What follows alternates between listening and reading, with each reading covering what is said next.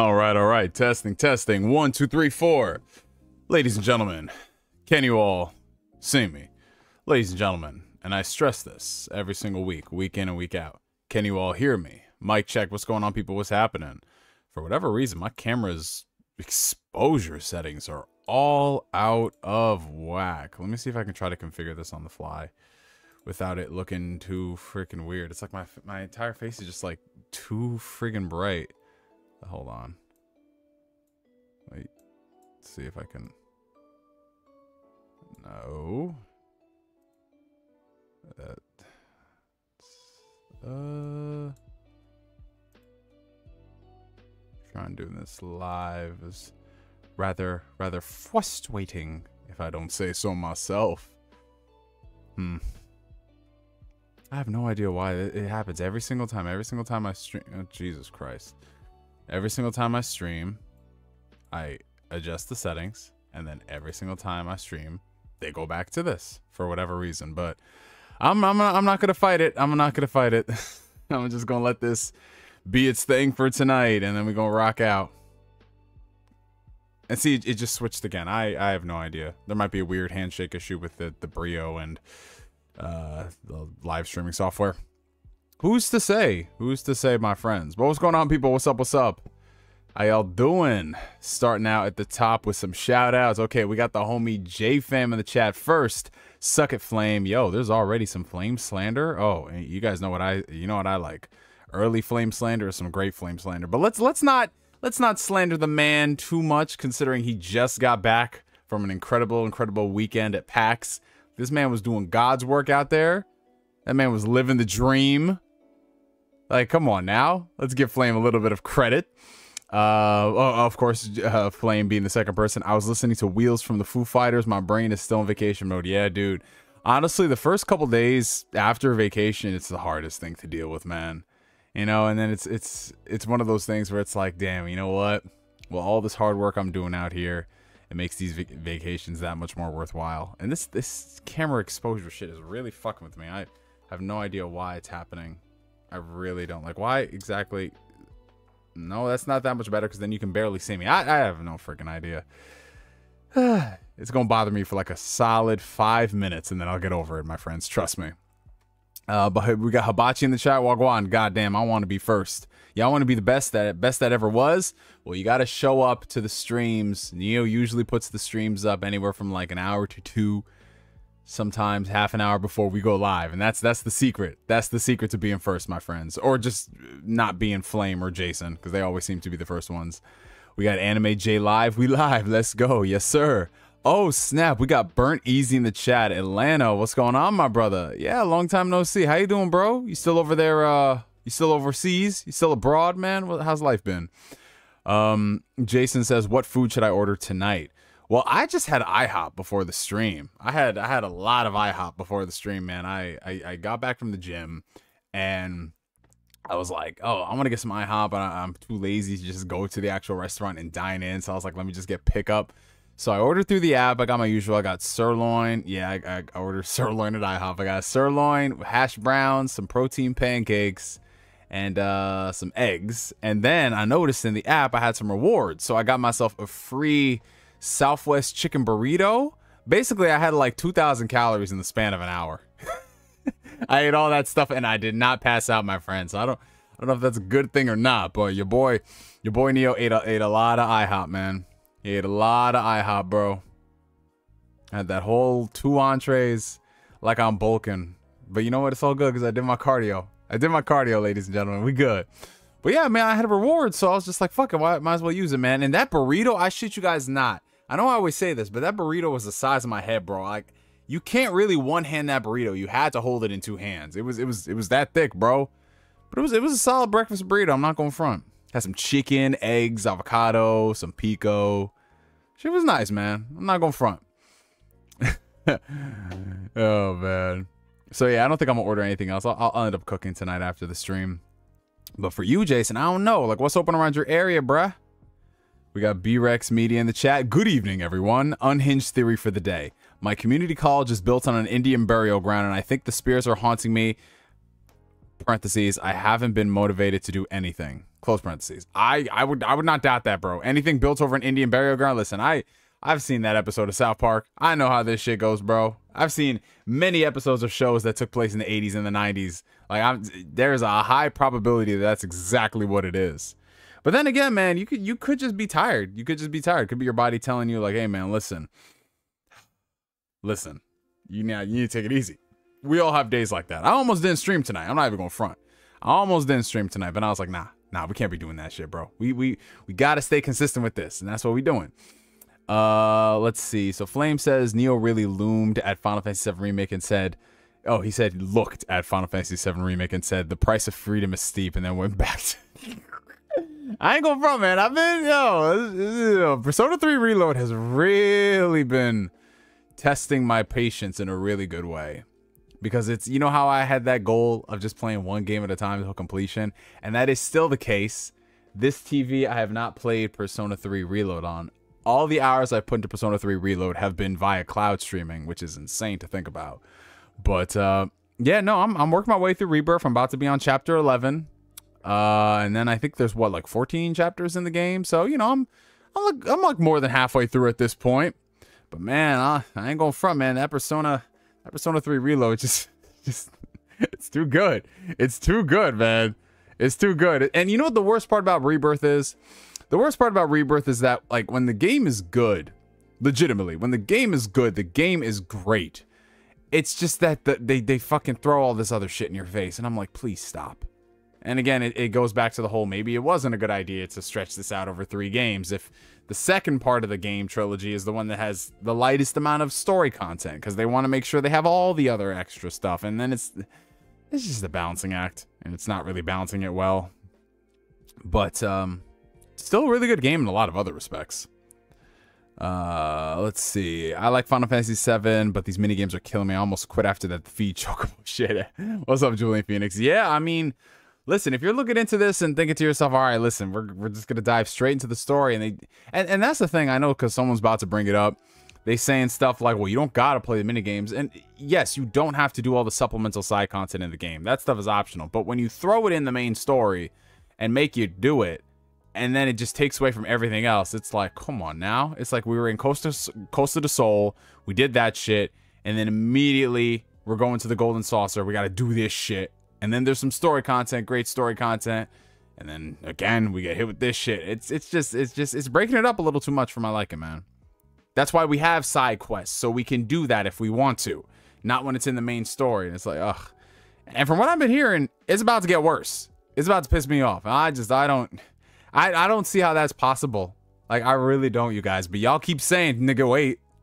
nigga, wait. I'm, that's scaring me, bro. Um, who else is in here?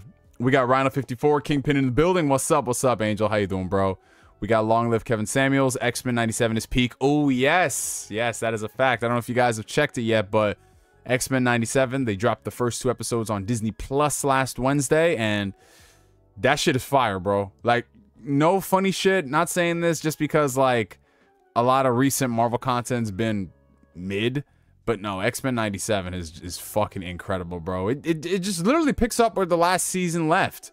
It just throws you into it. We're not gonna do like 16 recap episodes to get you acclimated. You either been with the shit since the OGs or you aren't, and that's the best part about it, bro. It's awesome. It's awesome. The animation I was kind of like a little hesitant on, and still, it, it doesn't look as good as I would have personally wanted it. But everything else surrounding it, oh god, it's fucking amazing. And I really, really hope that the rest of the season sticks the landing and it's not just like, hey, these first couple episodes are great. Ooh, we're going to fizzle out. But now, the way they be talking, like two and three seasons mapped out. And then there's also rumors that they might want to revive some other um OG Marvel stuff, like like the Spectacular Spider-Man. Not Spectacular Spider. I wish, but the Spider-Man '94 was thrown into the mix. Could we get a conclusion? Finally, figuring out what the fuck happened? Maybe.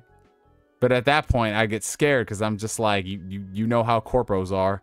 They see that something's working. Oh, let's fucking franchise this shit. Let's make it a universe and have them all connected. And yeah, there there there there was some level of interconnectivity from these shows, but it was just so small and not the point. You know what I'm saying? Whereas now it's like, oh, we're gonna build up to this multiverse event. If, if I if I even hear them utter the term multiverse again, I'm tired of it, bro. oh man. But shout out to my boy Ray Chase. That man is doing God's work. That man clocked into work. That man clocked into work at Cyclops.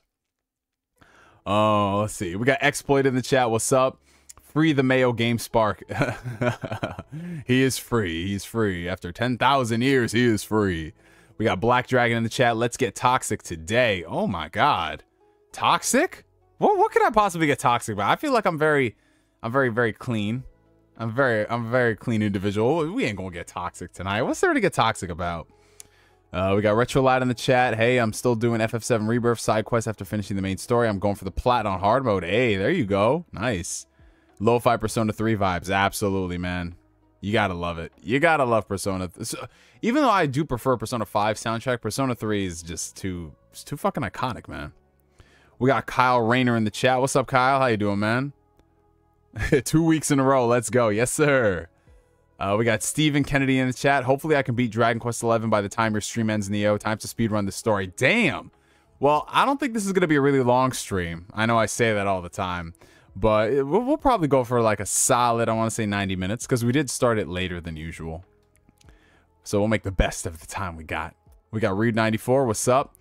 Ooh, we got excessive games in the chat. What's going on, Joaquin? First question: Name two of uh, Tifa's greatest assets. Oh, absolutely. Um, I would definitely say her resilience is one of them, and then the second one would definitely be how she sports thigh highs, man.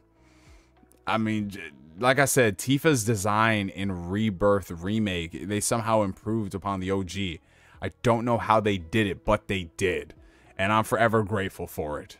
Like this is this is this is why AI will never take over in the way that they want you to believe because there's no way AI could give us this Tifa design. Absolutely not. I refuse to believe it. But yeah, shout out shout out to Tifa and and, and all of her assets. Shout out to Tifa, man. Mm, mm, mm, mm. See, like I said, this is a wholesome Christian YouTube chat, you guys. We're not going down that path. We are not doing that.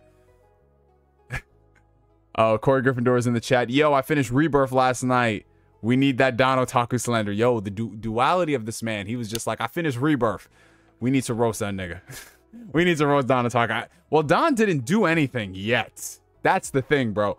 Had Don done something, we could definitely speak on that. But as it stands, he's he's been on his best behavior for the time being. Like I said, the the night is young. There's still an opportunity for him to expose himself potentially Digimon related, but we'll see. We got Stanley Connor 32. Hey man, my name is Connor and I love your YouTube videos. I appreciate that. Thank you, thank you. Haven't touched Rebirth in a week plus because I've been sick. Hey man, I feel that. Sometimes when I'm, I don't know how people when they're really really sick they can play games. The only time I can ever play games when I'm sick is if I got something that's like doesn't affect my psyche, if that makes sense. Like I can't be sick if I can't be playing games if I got a headache or if I'm just like too weak to look at a TV screen. You know what I'm saying? Like the only time I would ever say I can play games when I'm sick is if I have like congestion. That's basically it. That's basically it. Uh, let's talk about this Xbox handheld. Oh, absolutely, we definitely will. Uh, promises to keep now streaming such a fire song. Yeah, man, I'm telling you, bro. Got the jams for tonight. I IHOP for dinner is wild. No one eats IHOP dinner. I didn't have IHOP for dinner. I said I had IHOP for dinner after I had IHOP for a meal after the gym.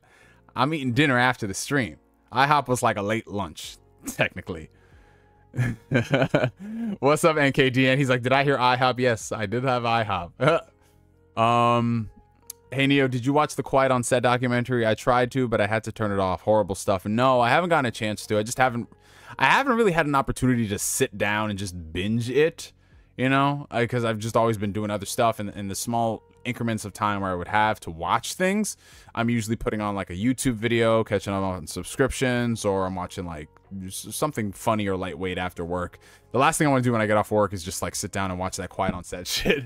But if anything, I'm probably going to do that. I want to say uh, after tomorrow night's stream, after Kingdom Hearts, I got some free time before bed so I can fully digest everything that's coming out of that documentary. And it is something that um um, like I said, we, we discussed it a little bit last week. Um, it's something that a lot of us, if you've been following the entertainment field for a while, unfortunately, this is like one of the worst kept secrets. and just now everything has come to light because people are speaking up about it and also again because it's on a streaming service so of course you're gonna have more eyes watching it than before but yeah it's um it's we're, we're seeing a lot of stuff getting exposed this year i mean i don't need to tell you guys what's been going on in the news people's houses getting raided and you know just all this stuff and hey man I just I, I don't think that this is going to be the last of it. I think there's going to be a hell of a lot more, and this is good. This is good. But you know, it is kind of one of those things where, and I was talking about this shit with my sister. You know, as good as it is that all this stuff is coming to light, the real fucked up part about this whole situation, this scenario, is that how many of y'all ever believe in the I the idea that every now and then you have to throw somebody as a sacrificial lamb to prove that the system is working. Like, you guys understand what I'm talking about? Like, all the shit that happened with Harvey Weinstein. Harvey Weinstein, if you dig deep into this stuff, Harvey Weinstein, what he'd been doing was like the worst kept secret in all of Hollywood. People had been joking about that for years. And then all of a sudden, this stuff comes to light. And then it's just like, oh, you know, like, yes, this is great that he's going behind bars. Absolutely, it is. But at the same time, it's like, he's not the only person who's doing this stuff. And not just in the film industry, not just in television. Like for every Harvey Weinstein or Dan Schneider that exists, there's tens and countless more that we don't even know about, man. And that's the scary and fucked up part about it. That's the worst thing about it. You know? It's insane just to wrap your head around this stuff.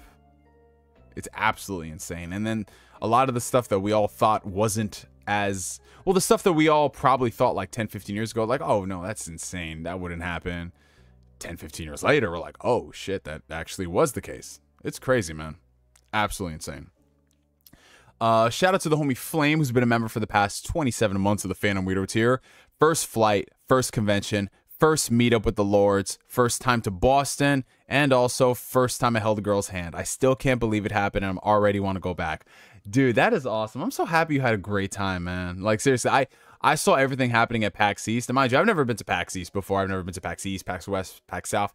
Uh, I had an opportunity to go to PAX South one year, but I couldn't get the days off from work to go and travel. Um, but just looking at like all the fun people had, like everything that went down at PAX East, to me, this felt like the first real convention convention where I, I can confidently say that people are going to be flying out for this and it's going to be a ton of people. Because, you know, after COVID hit, there was a period of time where it's like conventions, they were happening, but, you know, people weren't really going to travel for them. Like, I remember when I went to Otakon, uh, it was like two years after COVID. That felt like a huge deal because, whoa, you know, like conventions are back and there's still like record breaking attendances. This is insane. But are people going to travel the same way like before when we used to have like E3s and, you know, the thing about E3s, you know, rest in peace, um, a lot of people when we would travel for conventions, most of the time it wasn't even for the conventions themselves. Like, yeah, you would go there, you would see all games or whatever, but it was more about hanging out with people, like an excuse for all of us to be together for three days, and then we just have fun.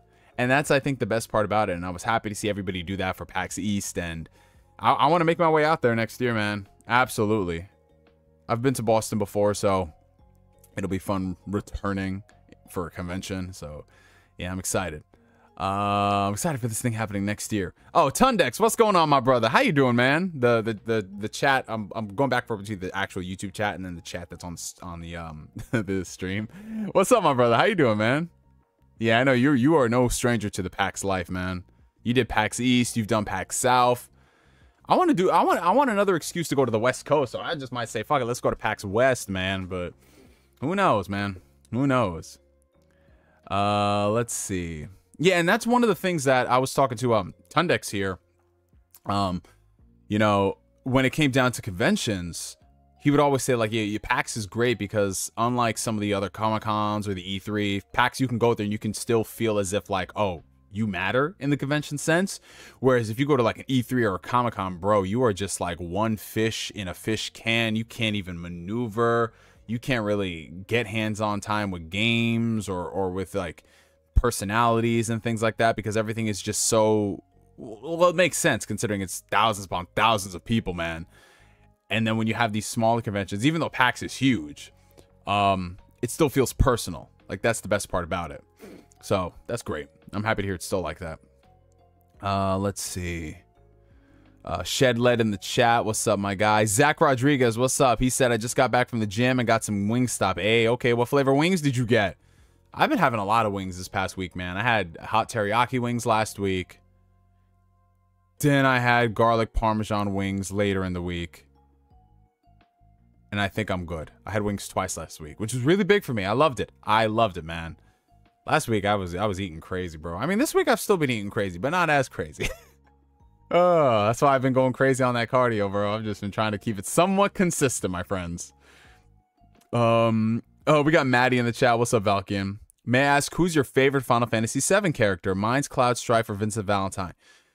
Favorite? Um, I mean that's that's kind of uh, yes, yes, yes. I know I simp I simp like crazy for Tifa. You guys know this. But if I had to pick a favorite, I would definitely pick Zack. Like, I, I, I enjoyed Final Fantasy VII a lot. I really did. But then I played Crisis Core, and I saw this man's story. And as cliche as it sounds, Zack just made me believe. Like, he just made me fucking believe. Like, just try a little harder. You know, just embrace your dreams. Like, just, just, just take the extra fucking step, bro. And I was like, yeah, we all need a person like Zack. like Zack Fair in our life, bro. So I would say Zack is my favorite Final Fantasy VII character. Um, after that, uh, Tifa. I mean, Vincent's pretty good too. Yuffie, just energetic. Honestly, I, I'm a I'm a big fan of every character, with the exception of Aerith. Like, not that I hate Aerith. I do not hate Aerith, but I'm like, I played the game and I was like, okay, Aerith. And then what happens to Aerith? I'm like, ah. But I felt like Aerith being there was more a means to an end. Like something to just to keep shit going. Not that they needed the, something for the plot, but it just like I'm looking at in terms of like characters. If I'm if I am just picking characters based off their strengths and what they bring, I feel like everybody else brings a little bit more than Aerith. That's just me, man. I don't know. I just I, I just like, I get why people like Aerith. She's not a bad character. To me, she's just not a particularly great character. Yeah, no, Wingstop, I mean, I'm not the biggest fan of Wingstop. I don't fuck with Wingstop. There's way better options if you have stuff near you. But listen, sometimes, man... if I ever start out sentence saying, well, sometimes, man... that that that just goes to show that I might get some Wingstop or some Little Caesars. But the likelihood of me getting Little Caesars, the likelihood of me getting Little Caesars, you have a better chance of uh, Dino Crisis coming back. Uh, Black Dragon in the chat. Uh, Final Fantasy VII Rebirth. Ooh, that, that's not a spoiler what you said. It's not a spoiler what you said, Black Dragon, but I'm I'm gonna veer away from it because I have heard some things regarding that thing you said and we'll discuss that when I finish the game. Uh, Big Bruv, what's up, man? How you doing? no, we're not going to do any spoilers. So if you guys, if you guys are still playing Rebirth or you're in the, you know, um, Rebirth is like very soon on your game list. I'm not going to get into spoilers. I don't do that. I'll do a spoiler chat at some point in the next month, but no spoilers here. Uh, let's see. We got Benji in the chat. I haven't heard much of Final Fantasy VII Rebirth. I can understand why Persona 3 has your interest as you enjoy Persona 5 a lot. You know what the thing is, Benji? Okay, so this is the only thing I will say as far as the whole because people are, are, wondering based off the title like oh why why do you why would you gravitate towards uh, rebirth or i'm sorry reload over rebirth even though you were way more excited for rebirth than you were reload i think it just comes down to what both games do in the sense that Rebirth as a story in the entirety of Final Fantasy VII, it's tackling more of the open-ended, airy portions of Final Fantasy VII. Now, what do I mean by that? Final Fantasy VII, the, the real story significance of a lot of it happens in the beginning, and it happens in the third act. The middle portion is really you exploring you doing all these random things, character building moments. I mean, the story is there, but it's not like, you know what I'm saying? Like the, the fact that I am about to hit chapter 11 of Rebirth, and if you look at it on paper, the story significance, not a lot of plot has happened. It really hasn't. It's just been you growing and journeying with the characters. You know, I, I saw somebody online kind of compare it to like Dungeons and Dragons in that sense. I'm like, okay, I can see that. Um, now the problem is you're translating and taking a 40 hour RPG from the PS1, expanding on it in a lot of good ways on modern hardware, but you're splitting it across three 40 hour campaigns. So you're basically taking a 40 hour story and you're making it 40, 80, 120, not counting supplemental material. Now, how do you justify that existence? Unfortunately, that comes with a lot of padding. And like I said, this whole experiment, I said this when I beat Remake, this whole experiment, honestly, with all three games, it depends on how they really stick this landing. Because that's a lot of engagement you're asking from people. Even though it is exciting to see the prospects of it, and of course, seeing the characters and the world and shiny visual fidelity when it doesn't drop to like 1080p resolution, all that stuff. Um, but it's a lot of an asking price. It really is. And a lot of the best aspects of Rebirth, unfortunately, are kind of hampered by that stuff that they have to put in there because to make it a 40 hour story. And it just, it bothers me as someone who I like my separation between story content and side content and I'd like the story content to feel like it's advancing the story and not just using that as an excuse to be like, hey, we have to put this in here so you know this, and then you can go max out and do all the mini games. Like to me, that's why I kind of like Persona 3 Reload a little better. Yes, it is a Persona game. I know the formula, but it's one of those things where it's like you don't have to do the social links. You don't have to max out those characters. You can just do the story. I mean, it'd be your, at your own detriment if you didn't do any of that stuff. Um, but Persona is very much so like regardless, there is a day and night cycle, and that plot gonna keep moving, bro. Like regardless of whether or not you do anything else, that plot's gonna keep moving. And you can beat Persona 3 Reload in like 60, 70 hours, you know?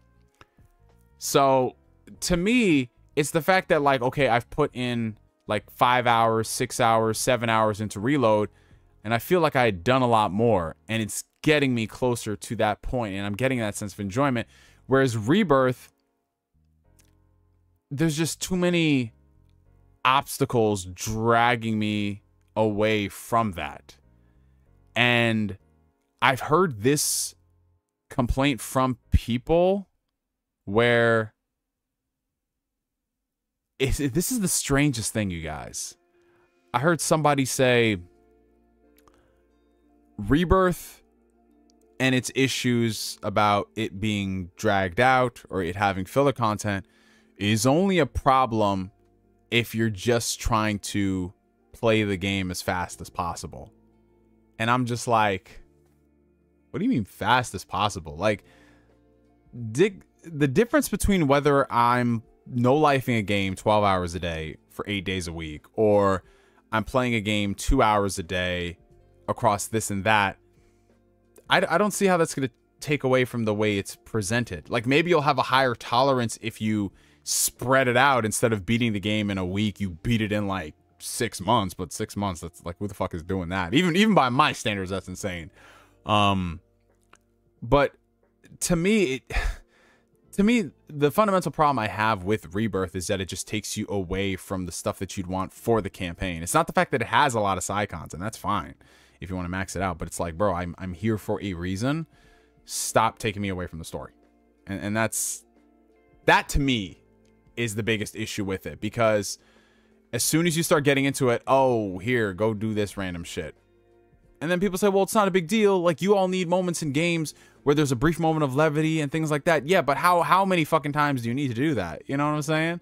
Or just have, like, the side content for that. That's sometimes the best part of RPGs when you have that side content where you can just do all this stuff and there's so much benefit from having that side content. Like, like, like the freaking Yakuza Like a Dragon. Oh my god, right there. And even then, that game had a little bit of like pacing towards the tail end. But like I said, it's a good game. Rebirth is a good game. Like me saying this stuff is not guys, the way I talk about Rebirth is not the way I talked about Final Fantasy 15. And it's not just because Neo is not an angsty 2010s guy anymore. Um, Rebirth is still, I would say, one of the better Final Fantasies to come out in the past 20 years. I mean, that's not saying much, but you know, um, it's still one of the better Final Fantasy games from a presentation standpoint, top tier, top notch, gameplay standpoint, top notch. Everything is top notch about it, with the exception of just that padding and that filler. That's the worst part about it. But again, we'll see. Like I said, about to hit chapter 11, and then I still have the, the, the entire end game. We'll see what happens at that point. Um, let's see. Okay, scrolling down the list, we got Blue Senshi in the chat. What's up? What's up? Uh, we got TTV Presents. I'm playing Persona 3 and 5 simultaneously, but I'm man, I'm loving Persona 3's music a bit more. Interesting. Playing both at the same time is crazy. My brother was doing that, and I was just like, please stop. Please focus on one, bro. Please focus on one.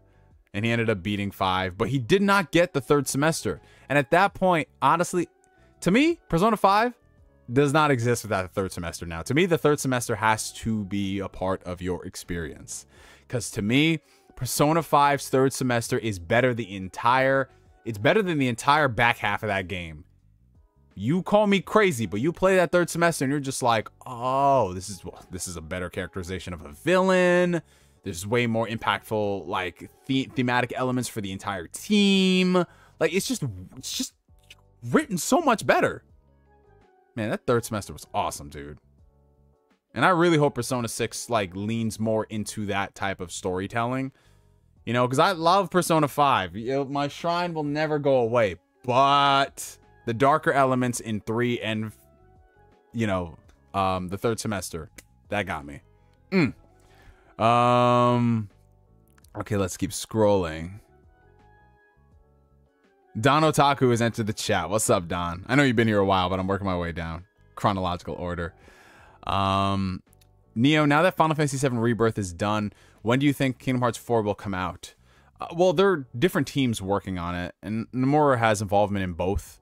But if I had to take a guess, man, 2026 is 2026 was always my thought process. Like when they revealed it, I was like, eh, we'd be lucky if we get this game within five years.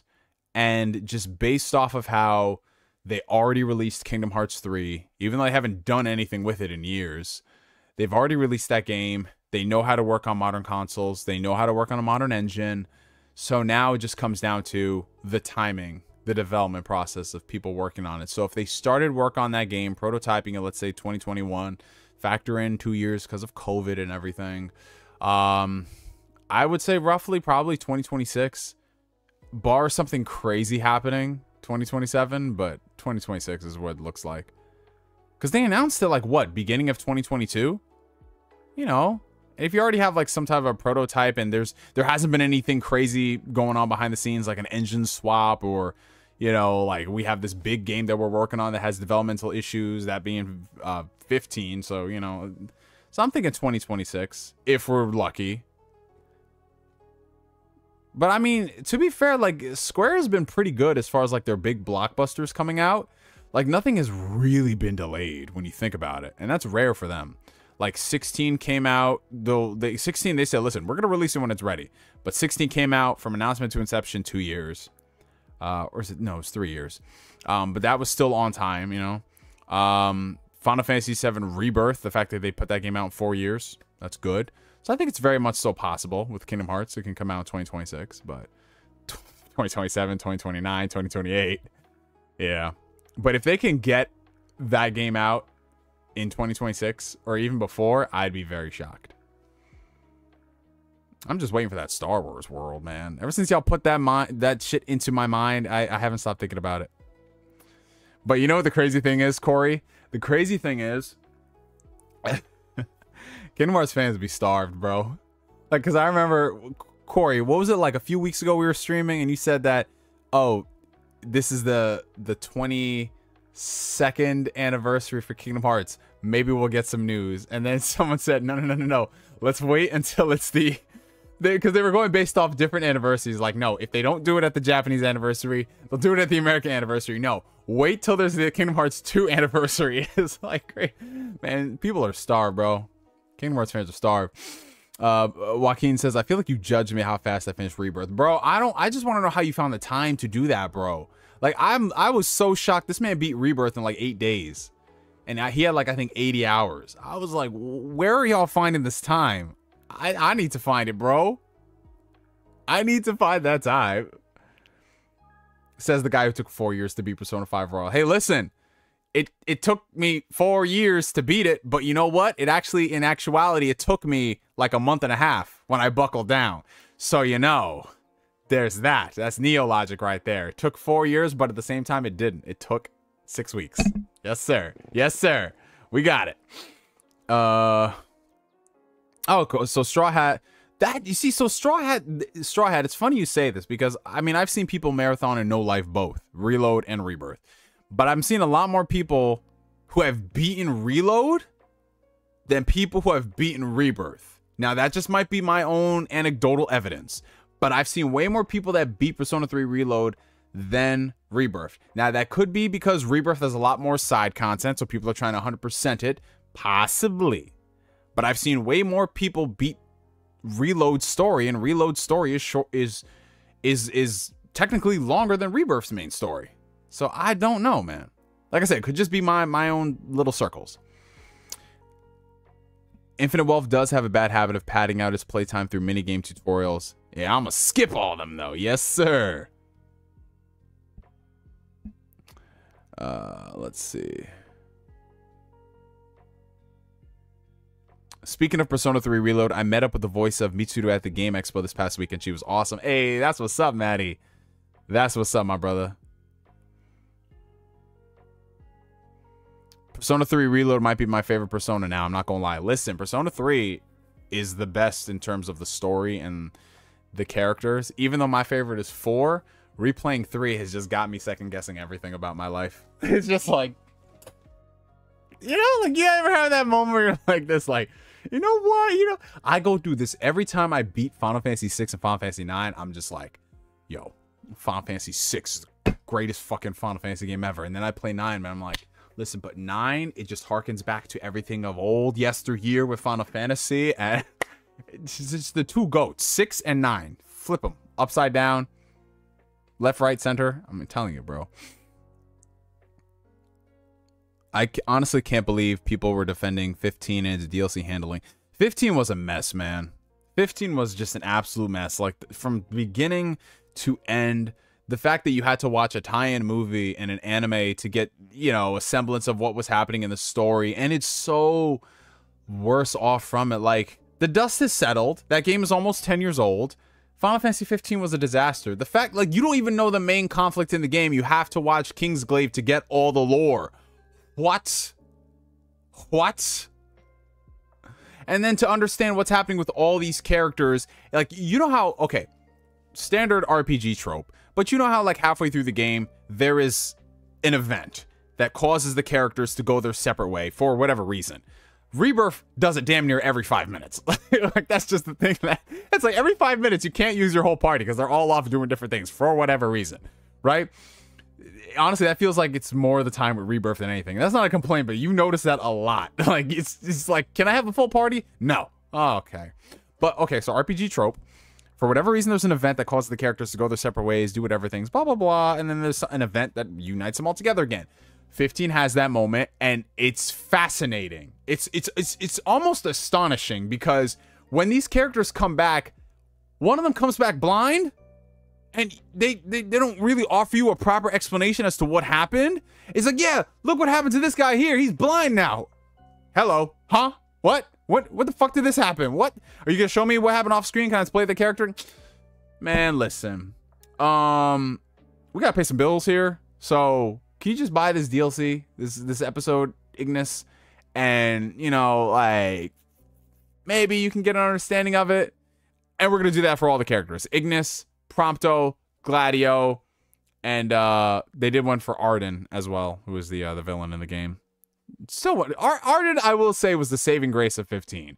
Ardyn was one of the best Final Fantasy villains, and what kills me about Ardyn is that Ardyn is so damn cool, and he's great, and he has an amazing in both versions, amazing voice actors, and it's just like okay, you know what? Here's this DLC. You're gonna get more of the story to him. Holy shit, that's insane. And and if you depending on what path you picked and everything, holy fuck.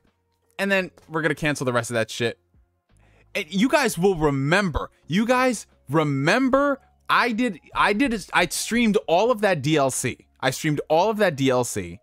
The Gladio one was ass. The Ignis one, no, Gladio was ass. Prompto was ass. Ignis was pretty cool. Ignis was Ignis' shit was on point. By the time they got to Ignis and Ardyn, they kind of like found their rhythm. Okay, this is what we want to do. And Ardyn's was just like the cherry on top because there was crazy story stuff happening. And dude, it was sick. By the end of it, I was like, I want to see where this goes. And unfortunately, because of the organization of everything, they canceled the rest of the DLC, and I think they said they were doing the rest of it in like a book. Um, I, I this was like four years ago when I read it. Um, but that sucks because when you look at Final Fantasy 15 as a whole, there's so much interesting stuff surrounding this world. A lot of stuff. It could have been its own trilogy. It really could have. But what we ended up getting was just not that original game. Not what they showed off in 2006, not what they showed off in 2013. And it's so sad if if there was ever an opportunity for Square Enix to just blow three hundred million dollars on a passion project, get that man Tetsuya Nomura back in there, get him with a competent director, let them fucking cook on this trilogy and rebuild Final Fantasy 15. The rebuild of Final Fantasy 15. Final Fantasy 15, Final Fantasy 15 2.22, Final Fantasy 15 3.0. You cannot evade like let us let us cook this shit, bro. Like I'm telling you no, shout out to Ardyn, bro. Shout out to Ardyn. But uh, yeah, no, I say all this to say my complaints with Rebirth are nothing like 15. By the time I finish Rebirth, bar something crazy happening from now until when I finish it, I, I I'm not gonna feel the same way. I'm not gonna feel the same way, man. yeah, but Ardyn, Ardyn was a G, bro. Ardyn is so fucking amazing. He didn't belong there. He really didn't, bro. Like you look at everyone else in the game and you're like, you're fine, you're you're okay, all right. And then Ardyn comes out of nowhere, you're just like, what the fuck, bro? Like, Ardyn is great. Uh, okay, so let's keep going. Uh, let's see, let's see, let's see. Neo, I'm interested with your opinion once you beat Infinite Wealth. I personally think it's one of the weakest stories in the series. I still like the game though. I will definitely let you know once I finish Rebirth Reload. Infinite Wealth is up there. With Persona 5 Royals ending, I think it's at some people's benefits to at least know the OG ending first. No, it's true, Jason, because I'm not going front. Without getting into spoilers, I'm trying my best not to. When I beat Rebirth, God, so why do all these games have an R in it? Jesus, the hard R. Um, when I beat Persona 5 Royals ending, I was like, this feels weird. You know what I'm saying? Because I was so used to how Vanilla 5 ended. And then this is very different. But at the same time, it makes a lot of sense.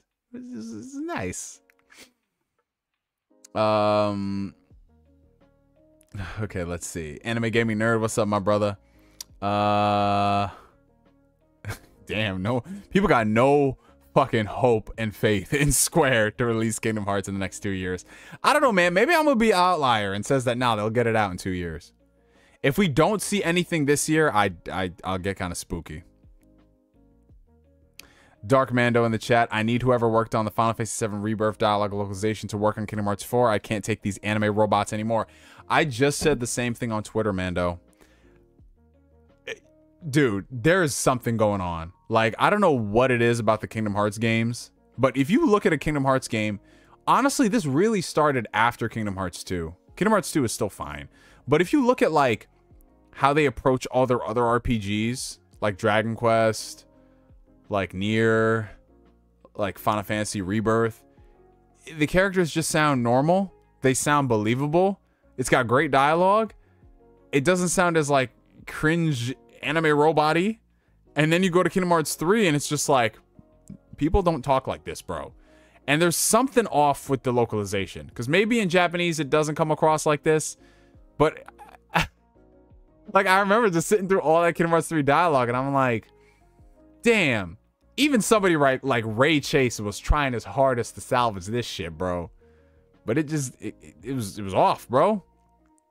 I want Kingdom Hearts dialogue to sound believable. You know the, you know what really sounded believable? You guys remember when they were doing that Kingdom Hearts um animated series like back in the early aughts and it just like randomly resurfaced? Like I listened to that and it felt like a realistic take on Kingdom Hearts dialogue. I loved it, man. I loved it. Um yeah, I know. One of my well, Jason is here. He beat Persona. He beat Persona Five Royal. I think in a week. That man was doing like 15 hour days, bro. I feel it. I mean, it was during lockdown, so there is that. Bro, how are y'all? I man, I wish I could be playing these games for 12 hours, dude. After I play a game for three hours, I need a break. I'm just like, all right, let me do something else. Unless I literally, literally just dedicate my whole day just to play that shit. I would, I would be like, no gym, no errands, no cooking, no nothing. Just play the game. Uh, let's see. yeah, one week for Persona 5 is wild. I could understand one week and you put like, you know, 50 hours into a game. Even then, that's kind of crazy. But still, one week for Persona 5 Royal, 130 hours. Ay, ay, ay. KiddStupefy. I played Final Fantasy 15 at launch and never touching it again, even after all the 50 updates to make the story better. Yeah, no, it just, no. Mm-mm. 13 and 15, you could argue, killed the franchise. I mean, depending on who you talk to, 13 is the best game in the series. I'm just seeing a lot of revisionist history with that game, which is very strange to me. But you know what? People are entitled to enjoy it. Like, I enjoyed... I'm not gonna lie, I enjoyed my first time playing 13. I'm gonna go front. I enjoyed it. I was like, this is Final Fantasy, man. And I tried replaying it, and I was like, oh. that was like the sharpest realization of like giving into like launch hype ever. And I had that moment with 13. And I was like, oh man. but that that that soundtrack and that battle system were good. Uh Final Fantasy 16 slander? Oh no, we're not doing that. No, no, no. No, no slander. We can critique it, but slander, slander, no. So, no, no slander. This is this is we're gonna. This is a wholesome stream. Oh, five dollar super chat coming in from John X. Long live physical media, my man. I gotta heart that real quick. I gotta heart that. That is a fact. Long live physical media. So let's just bring this up. That's probably what he's talking about. If not, it's always a good time to champion physical media. Did you guys hear that supposedly a couple of Tales of games have gotten delisted from the PlayStation Network? I think it was like Tales of Xillia 2, Hearts R, Symphonia those got delisted off the, I believe, the American PSN. It might still be up on the European one. For how long, we do not know. Now, I don't know if this is a glitch or not. It could just be like, hey, we're going to put these games back up, you know, renew licenses, blah, blah, blah. But still, it is one of those situations where it's just like, hey, listen, if you didn't buy these games when they came out, I'm just saying. But who knows? Maybe they are going to work towards re-releasing them. Fingers crossed, hopefully. But if, if I were a betting man, I don't know, man. I don't know. Especially with how Bamco has handled some of these sales ports. How do they keep fucking up Symphonia, bro? Like, dude, it's so easy and you keep screwing it up twice now. Twice now, bro. Well, technically three times. Because first there was like the PS3 one that was a little wonky. Then they released it on PC. And then they did that other remaster. I just, I don't, like, Symphonia is cursed, man. Honestly, we just need a full remake of Symphonia at this point. I'll take that. I'll take a remake of Symphonia. I'll take a remake of Abyss. Uh, some of the OG ones that never got localized. I'll take that. I'll take that, man. Do the Xillia games need remasters? Uh, no. I mean, I would want them to be like readily available for people to play. Yeah, absolutely. But like, I will take a remake of Abyss or Symphonia if I had to pick. If it's like remaster the Xillia duology or remake of Abyss or or Symphonia, I'll be like, give me Abyss, give me, give me that shit. Don't get twisted. I still love the Xillia games. I do, but like if I had to choose, because they're not gonna give me all that. I'm just so happy that Vesperia at least got a proper remaster. Well, mostly outside of the uh the the localization. How if you went and you switched from uh it switched from like Yuri Lowenthal, not Yuri Lowenthal, uh, Troy Baker to Grant George for the the old and the new content. That is jarring, bro. I know some people say, "Oh, you don't notice it." I'm like, "You notice it. Because it would literally be here's a cutscene with Troy Baker. Two minutes later, here's a new cutscene, Grant George. I'm like, huh? It's not a Troy Baker and uh, Matthew Mercer situation where they sound similar enough they could be interchangeable. It was literally so off putting. Oh, shout out to Graces f, bro. That combat system was god tier. Is that what it is, AGN? Damn. Well, I remember with Kingdom Hearts, apparently, what, they lose the original source code with the first game? They had to rebuild it?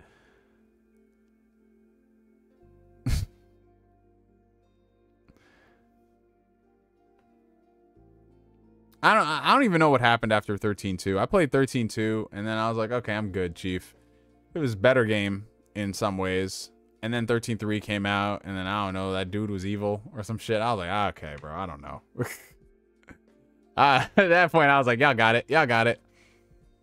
But yeah, no, the, the Final Fantasy brand, it's just kind of all over the place, man. It's just all over the place. Like, some people enjoy aspects of it. Other people will hate it. You know? We'll see, man. I think the only thing can, that can really save us, the only thing that can really save Final Fantasy, to be honest, is if they did a Final Fantasy IX remake, which is rumored to be the case. We'll get that. 13 was so bad you don't remember the narrative. I mean, I remember there was something to do with crystals and racism and Vanille being annoying as fuck and Hope being annoying as fuck. You can't have two characters being annoying as fuck. They don't really contribute much. You can't have that. You can't have that. I'm sorry. He had a cool black guy, but he wasn't as cool as Barrett. But he was a single father trying to trying to look after his son. So that was cool. But why have a chicken coming out of his afro? That's interesting. Um Something about crystals and racism. Crystals, racism, uh Lightning having to be Mopey to be strong for Serah. Laura Bailey is in the mix. Snow has a motorcycle. It was, you know, there was uh there was there was there was some aspects. Like guys, it was an RPG that starred characters designed by a person and they were getting involved in events and had great music and it looked pretty and there was there was stuff there was stuff happening. Why do Haley and David sound so great as villains in Kingdom Hearts 3, but as good guys, their performances are so meh? I think it's because the freaking I think it's because the, the scripting, bro. They always write guys, if you look at this, the good characters in Kingdom Hearts games are never well written. You know what I'm saying? Like even the ones who we really like, they're not that well written. Like Haley has so much more fun voicing Vanitas than he does Sora because he can do a lot more with that dialogue than it. Than, and how many times you could say, "Oh, oh God, my friends are my power," and Donald and Goofy and we'll just no, that shit is so sterile, bro. But you come over here with Vanitas, you can get some Shakespearean dialogue thrown into the mix. You can talk about how this person, like, like you know what I'm saying? Like, he, he can do a lot of stuff as Vanitas that he can't do as Sora. Like, Sora, Sora can't fucking insult somebody. He has to have like Woody or, or another person in his circle do that. Vanitas, Vanitas can say that like Vanitas can say some wild shit. Let's list the number of games that have Troy Baker and Laura Bailey together. We would probably finish this bottle of whiskey if we took a shot for every game with both of them together. Bro, off the top of my head, dude, The Last of Us, Tales from the Borderlands, freaking Final Fantasy 13. Right there. It's just three games alone. And then what? Infamous Second Son. Was, was she in Bioshock Infinite? Maybe. At this point, I don't even know, man. Forget Uncharted. Like, mm. Daryl said because we black folks don't wash our hair. That's why the black dude has a chicken on his head. I wash my hair. I washed my hair yesterday. I don't have a chicken on my head. Persona 4, Catherine. Listen, we would be all drunk. Yes, Laura Bailey was the original voice of Rise. And then in um Dancing All Night, they changed it to uh, I should know this. I forgot. yeah, they did change her. Square Enix needs to come out with a Dragon Quest Pixel Collection. Stop with the Final Fantasy remakes. Just become Rockstar and port the old IPs. Weren't they doing Dragon Quest like 3 HD, 2D HD? Where is that? Where did that go? Bro, am I the only one who just like remembers this? Like, where is this game? It was Ashly Burch. Oh, I, I was thinking it was Ashly Burch, but I don't know. Yo, chug that doors, my man. Steven, Steven, Steven. We did that last week, my friend. We did that last week. Steven, when David Big Lad is not here, Steven takes over. At least for the month of March. At least for the month of March. He's like, hey, man, we're still Irish. Dude, you know what? Uh, guys, I, I think that once I fin... Oh, I gotta finish this game too, bro. Dude, I'm not gonna play anything this year except JRPGs. Like, I'm sorry. Rebirth, Reload, Like a Dragon Infinite Wealth, finish up the Xenoblade DLC.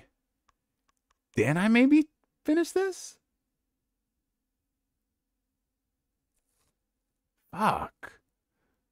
I'm not touching Dragon's Dogma until like next year at this rate, dude. It's bad. It's bad, bro. It's bad. It's bad, bro. And then I have Metaphor at the end of the year. It's bad, bro. Bro, I'm dude, where is Dragon Quest 3 2D HD? You see, if there is one benefit about the data battles, I'll be streaming those. So I have to do that. I have to play that and stream it. Th- this other shit is just like, golly. No, we're not playing that Avengers game. Could you imagine that? Like, oh, I played the Avengers game in 2024. Here are my thoughts. Dude, I really want to finish up Dragon Quest 11S. Like, really finish the content in that game, bro. And I've just been in such a Toriyama mood, but there's so many other games that I have to play. Hey, what's up, Ghost Fixer? How you doing? Guys, I just realized we've been streaming for an hour and I didn't even do the intro. And no one has reminded me to do the intro. Hey man, we vibing tonight. I respect that. I respect that. How's it going, you guys? How, how the hell are you guys doing? Happy, happy, happy Tuesday. It's uh, it's nine o'clock at night over here on the East Coast. How's everybody doing? How's your week, guys?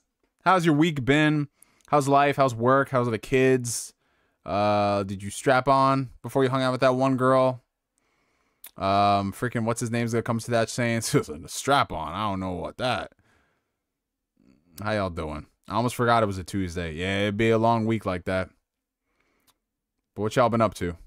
You good, Neil? I'm in the same boat. It's been JRPG gaming all year. Absolutely. Dude, yo, Corey, I do want to play Kakarot as well. You know what the funny thing is? Artsy Avanti, shout out if you're here. Shout out if you're watching on the playback. Artsy Avanti, you guys remember he donated for us to play that on stream? And he was like, I just want to watch you guys play a Dragon Ball game. We're like, yeah, fuck it, we'll play it. We bought the game. We started streaming it. We were, I think, two hours in. And Artsy Avanti was like, can we play something else? Like, I'm not fucking with this.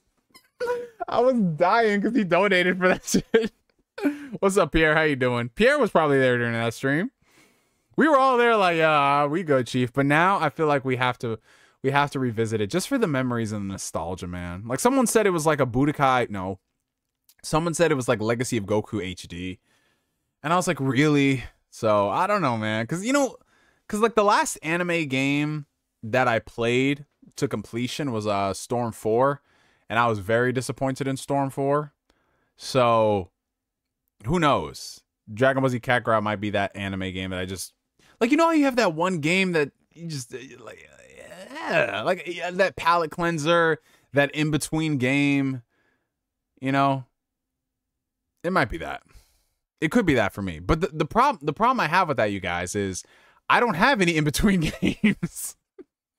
I can't have an in between game because the next game I play is a big ass fucking game. You know, and that's a that's a great thing because they're all good games. But I, if if I think I ever got to the point where I was burnt out, I'd probably put on like a Kakarot or some shit. Damn, he said, I'm gonna be very honest. Legacy of Goku is probably still better than Kakarot. My god. Damn, Kakarot is so mid. Kakarot is okay. the spamming in Kakarot is annoying. Jesus. what the fuck? Storm 4 is 100 times better than Storm Ass Connections. Yo. Dude. You know what the funny thing about that game is? Like I remember I just did one tweet about that game being like, "Yo, this is fucking crazy." And I I ended up being cool with the guy who voices um uh somebody from Boruto. Starts with a K. I don't watch Boruto. But I ended up being cool with the voice actor because we were both talking about this shit. crazy. oh. Do you ever go back and play retro games? Honestly, it depends. It depends on the mood. More often than not, I'm always playing something new that comes out because there's just always a lot of shit to play. But every now and then I get into a mood. Like, um, I was this close to buying Chrono Trigger on my iPhone. Why? Because I just want to.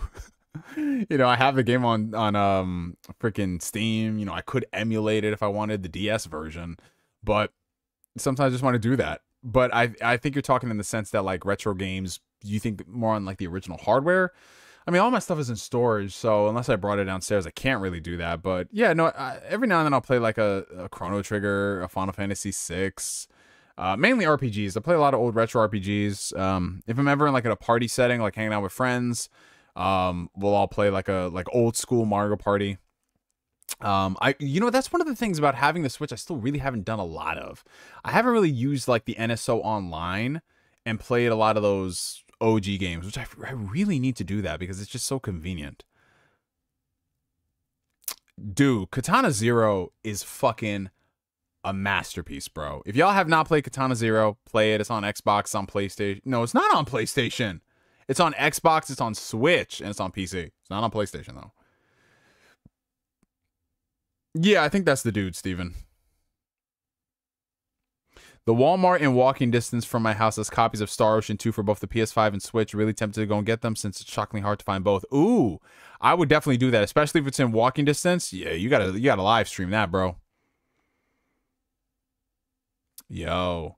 I had I think it was Mario Party 6 on the GameCube. That shit was fun. The the new Mario Party games that have come out, like from the Wii onwards, have been uh cockadoodle butter. But don't tell that to Don Otaku. He he he he wrote his college uh his grad school dissertation on why Mario Party is an underrated gem. So it Corey, it, it, a character that starts with a K. I know that much. Hold on, let me let me look up his name so I can just be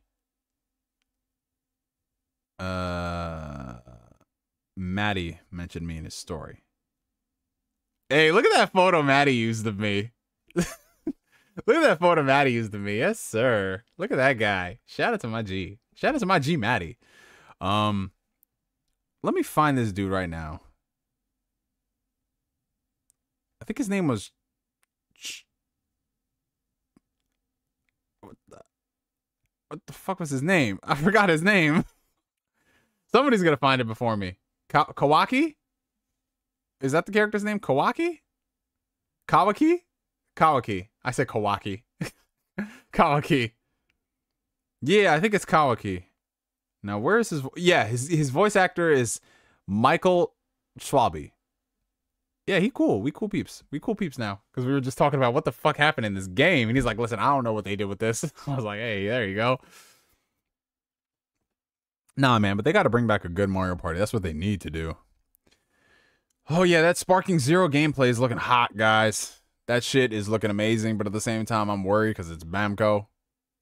I just don't be trusting Bamco, bro. If there's one game that they cannot fuck up, it's this game. But we'll see. Um, been thinking about hooking up my 360 to play Chronicles of Riddick and the Budokai trilogy. Dude, there is a shocking amount of PS3 and 360 games that are just not backwards compatible.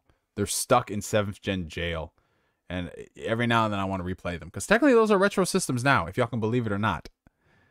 There are retro systems, the PS3 and the 360. Even though they're still modern and you can hook them up to the internet, they're still retro because them shits is almost 20 years old.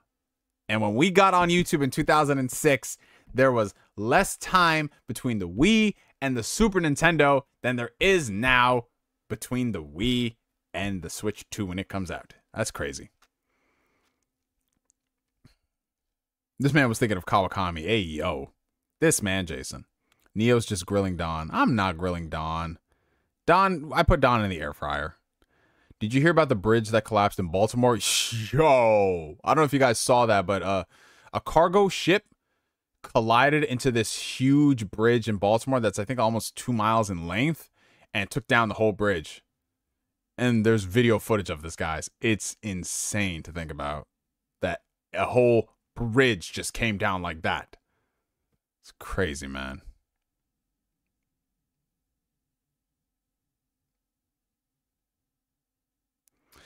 Well, the thing about making things backwards compatible is that it comes down to honestly it's, it's logistics at the end of the day for these companies. Well, in the in the case of PlayStation, uh, for the longest time, what stopped them from doing backwards compatibility is just the architecture, from the cell architecture to x86. It's it's a headache, it's a nightmare, it's a hassle. Like look how long it's taken to get PS3 emulation up and running, and it's still not perfect on PCs. So that's a logistics thing. But on Xbox's side of things, it's more from a cost point of view because in order for them to do the entire process of bringing those games forward, do emulation, all that stuff, there's a lot of R&D that has to go into that making sure all the games work and they run across all the new Xbox consoles, whether it's Xbox One, Series X, Series S. Um, and then from there, being you have to find a way to make some type of money to recoup the dev costs because they, they don't just do this shit out of the kindness of their heart. So they want to put those games out on digital storefronts. And in order to do that, you have to have the licensings. Now, how do you do that? Well, what happens is you have this game, you see it's a very popular game and people like, you go track down the publisher and you negotiate a deal to put this game available on the storefront because these games don't exist indefinitely. Everything is licensed. So you put those games on the storefront and then you make whatever money you make off of it, which is going to be very little in this case because people say they clamor for backwards compatibility, but they really don't use it that often. I mean, it's one of those things that's cool to have, but are people going to do that as opposed to buying new games? No, they're not going to. It's just one of the things we wish we had in, in just the background. Um, but in the case of a lot of those OG games that we love, some of those publishers don't exist anymore. Some of those studios do not exist anymore. So how do you bring those games back? Well, you do what you can, which is why you have a lot of popular games on Xbox backwards compatible. Then you have a lot of games that are just like, why is this here? And you're like, oh, because this company res- rescued the rights for this game and now they can renegotiate the deal and put it on the service. So it's one of those things where I always say either emulate the games or track down the original hardware in the games if you can. But it would be awesome if we had like just a one-stop solution. Just put the game in the system and it plays it. That'd be nice. Yeah, dude. Honestly, like I would love to play like the OG Budokai Tenkaichi games or the OG Budokai games or the Clash of Ninja games. That'd be sick. But the fact that we had an HD collection, you guys got to think about this for a second. We had an HD collection for the Budokai games. That does not fucking happen. like when you just look at anime games in general, they don't ever really bring old stuff forward because it's always been a licensed niche. So for them to bring the first three games, well, in this case, one and three, they just pretend two doesn't exist, which for some people that's a good thing. Um, they brought them both over, but then they changed the music because there was the the music composition uh controversy with the composer. Uh, but it's just it's like, damn, it's still like I still have my uh PS3 copy somewhere down, somewhere down. Yeah, it's down over there. Um, I, I can't turn this because the the whole thing will topple. But yeah, man, it's uh, it's one thing I wish. I wish we had more proper backwards compatibility, but it's it is what it is, man. Just keep hold on to the old hardware if you can. 499 super chat coming in from Zach Rodriguez. I appreciate you, my brother. I kind of want to replay NieR Automata. Such good music, but the gameplay seemed off. Also, still need to play Xenoblade 1, Final Fantasy 7 Original, and Stellar Blade. Ooh, well, appreciate the super chat, my guy. Um, now, how many times have you played NieR Automata? Like, did you only play it once? Because the thing about NieR Automata is you at least want to play the game twice. Because, you know, the game has different paths that can lead towards different endings. Um, and honestly, you find way more enjoyment out of NieR Automata when you go through it a second time and you figure out all the other stuff. And then you do your, if you don't want to keep playing it multiple times, uh, you find out and you read everything else that happens and you're just like, wow, this is fucking fascinating. Um, gameplay wise, no, I felt the gameplay was pretty good. I mean, Platinum Games worked on the gameplay, so I, I, th- I thought it was solid. Seeming off though, hmm, I don't know. But yeah, I would definitely recommend um, probably out of all three of those games, well, Stellar Blade we don't know because it's not out yet, but I would say you could probably do another NieR Automata run and you'd get that done quicker than 7 and especially Xenoblade 1. But yeah, no, it's uh five of the main endings, I believe. Oh, okay. So wait, you beat it how many times? Wait, you beat it five times? you beat it one time? Um, but yeah, no, NieR Automata is great. I'm actually gonna be. That might be when I'm not playing JRPGs. I might replay NieR Automata because I just bought it on um Xbox uh, the Become as Gods edition. So I might run through that because it's been a minute. I started a little bit of it, and then all the games came out. Oh, they just dropped DC Universe Online. That game is still out. Holy shit, that is crazy. Oh, what's up, uh, Human AI God? What's up, Arsonist? How you doing? Gameplay was not up to snuff with other platinum games. Oh, you're talking Babylon's Fall. Yeah, yeah, yeah. I agree, Donald. I agree, I agree, I agree. That's certainly a take, but I agree. Um, Neo, on a scale of one to ten, how excited are you for the Sonic Heroes remake? okay, let's get into this. All right, you guys. So, word on the street, word on the street is that apparently Sega and Sonic Team are working on remaking Sonic Heroes for modern generation hardware PS5, Xbox Series, and apparently the Nintendo Switch successor. Now, as you guys know, I'm one of the few people on the internet that enjoyed Sonic Heroes. Now, is that a perfect game? No, it is not. That game has got a lot of fucking problems, especially that being the first multi platform Sonic game. You come out with this bullshit. Yeah, but at the same time, I just have so many fond, yes, yes, dare I say, nostalgic memories of just fuckery. Me and my brother playing this Sonic game. This triple, there's like three, pick these three characters and go on this. Dude, like, it's just, it's fucking fun, bro.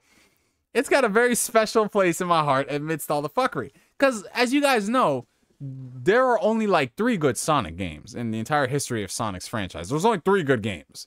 So, Sonic Heroes, while not a great game, if they remade it, fix the controls, fix the level design, maybe add in some online multiplayer, I would definitely download it if they put it on PS Plus or on Game Pass. You know, it should. It should was. It should was. It was. It was you know, it, it had its place in history. It did, and that theme song it's fucking sick. Sonic Heroes. Let me not get contra- like copyrighted. That intro is gonna go crazy in 4K. Yeah, I need them to like remake it from the ground up, add all the sauce. You know, let it simmer for a little bit. You know, like just give us that shit, bro. Knowing Sega, I don't know how good this is gonna be. They might get the people that remade Sonic Colors to work on this shit. I don't know. Sonic Adventure 2 Battle is the only Sonic game that's above a 7 out of 10. Mm, I'm not going to fight you on that, Donataku. But I'm not going to fight you on that, but Sonic 3 and Knuckles was very good. What's up, David Big Lad? How you doing? What's up, Cutter Freeman? How you doing? Gaspavelli, what's up? This before the Adventure remake is crazy though.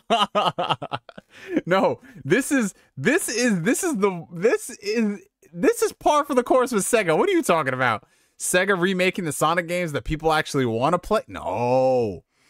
We will sooner see a remake of Sonic Chronicles The Dark Brotherhood than we would a Sonic Adventure remake.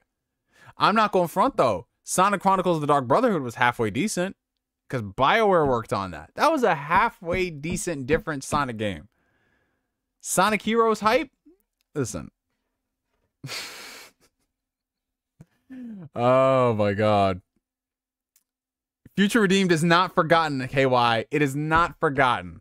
Just like you don't forget to use KY, I have not forgotten that. I have not. I have not. Like I said, after I finish Reload and Rebirth and Infinite Wealth, I'm going to get that DLC out of the way, and then that's it.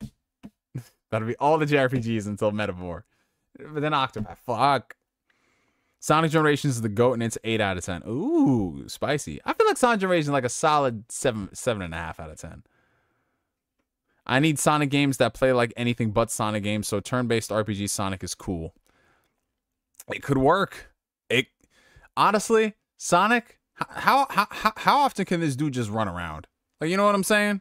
Like, how often can this dude just run and then we just not get bored of it? We need Sonic to do different shit, bro. I need Sonic. Well, then again, I don't really want Sonic in a platform setting either. Sonic is a platform. Mm. Sonic as a mm, first person shooter. That could be interesting. Let's See what that brings to the table. Sonic with a gun. We had Shadow with a gun. Why can't we get Shadow with a gun, but now with a bazooka? Sonic Colors 9 out of 10. Dude sleeping on the game. Sonic Colors is a good game, but it's like it's like it's like a 7.4 out of 10. Sonic turn based could work. It could. Palworld, but it's Sonic characters. I see the vision. Just give me a Sonic game where we play as Sonic and his friends, not just Sonic. Okay, so what if I gave you Sonic and then 2D Sonic? And then your Sonic forces create a character.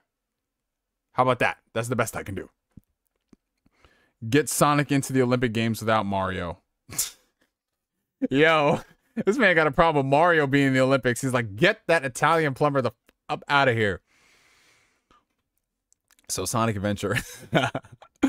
Sonic with overtop stories are why I'm still on the Kingdom Hearts train. Yo, absolutely, bro.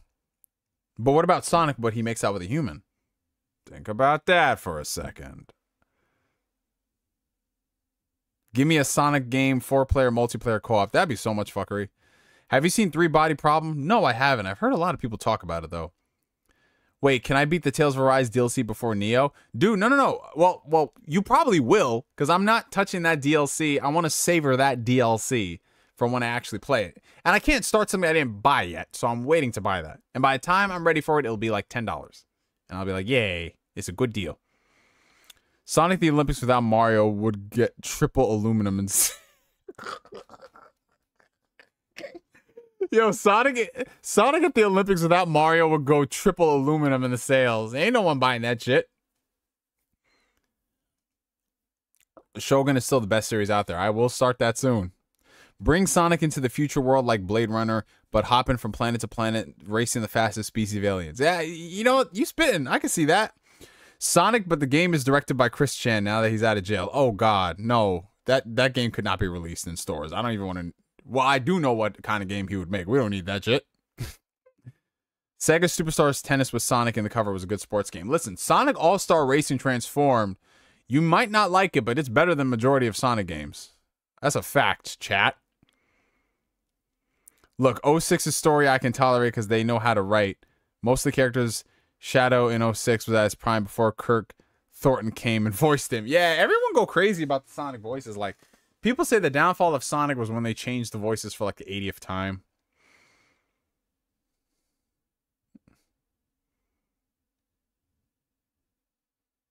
But I will say, like, when I see people talk about how cool Sonic is, it's always from like the mid 2000s era. Like the Shadow the Hedgehog edginess, the Sonic 06 was silver. After that, I ain't see people posting about Sonic being cool or drip or whatever. You know, what I'm you guys know what I'm talking about. What the fuck? This man said, Tales of Arise, I tried it on Game Pass. Too much slavery. I got bored. Oh, God. That man said, slavery? Not on my game time. I need to check out Project 06 when I get a chance. It's a fan made port of Sonic 06 to the PC that fixes a lot of the issues. I I would play that. Sonic Boom. Which one? The one on the DS or the Wii U?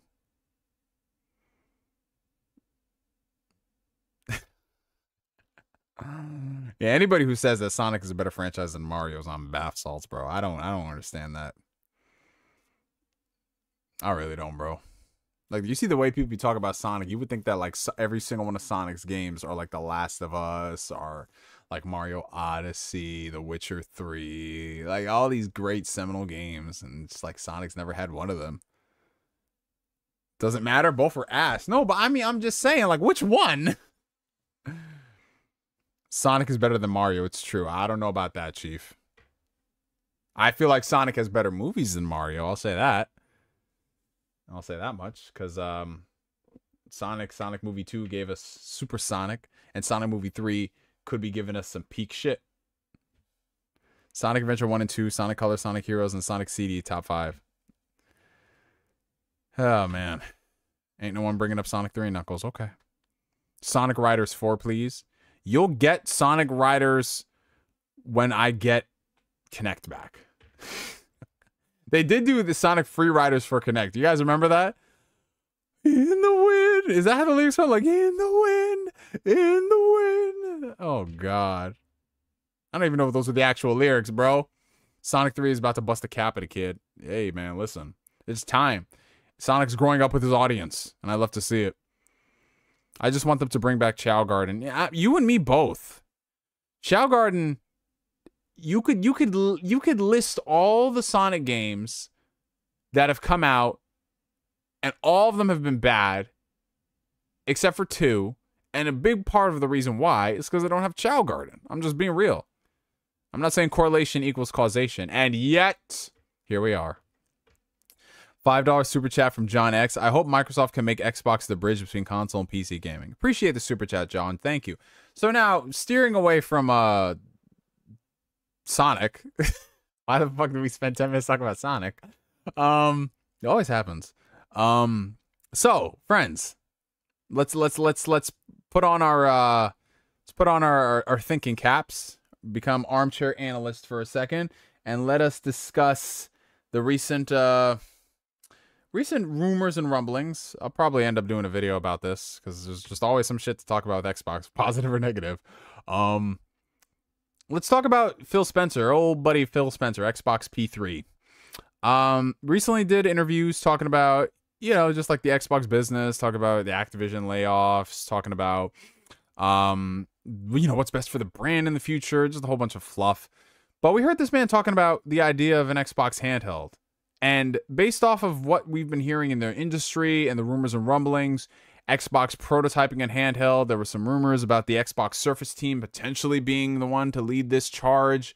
A lot of fascinating stuff for people like me who enjoy the idea of handheld gaming, even though I play the majority of my games at home on a 60 inch LG TV.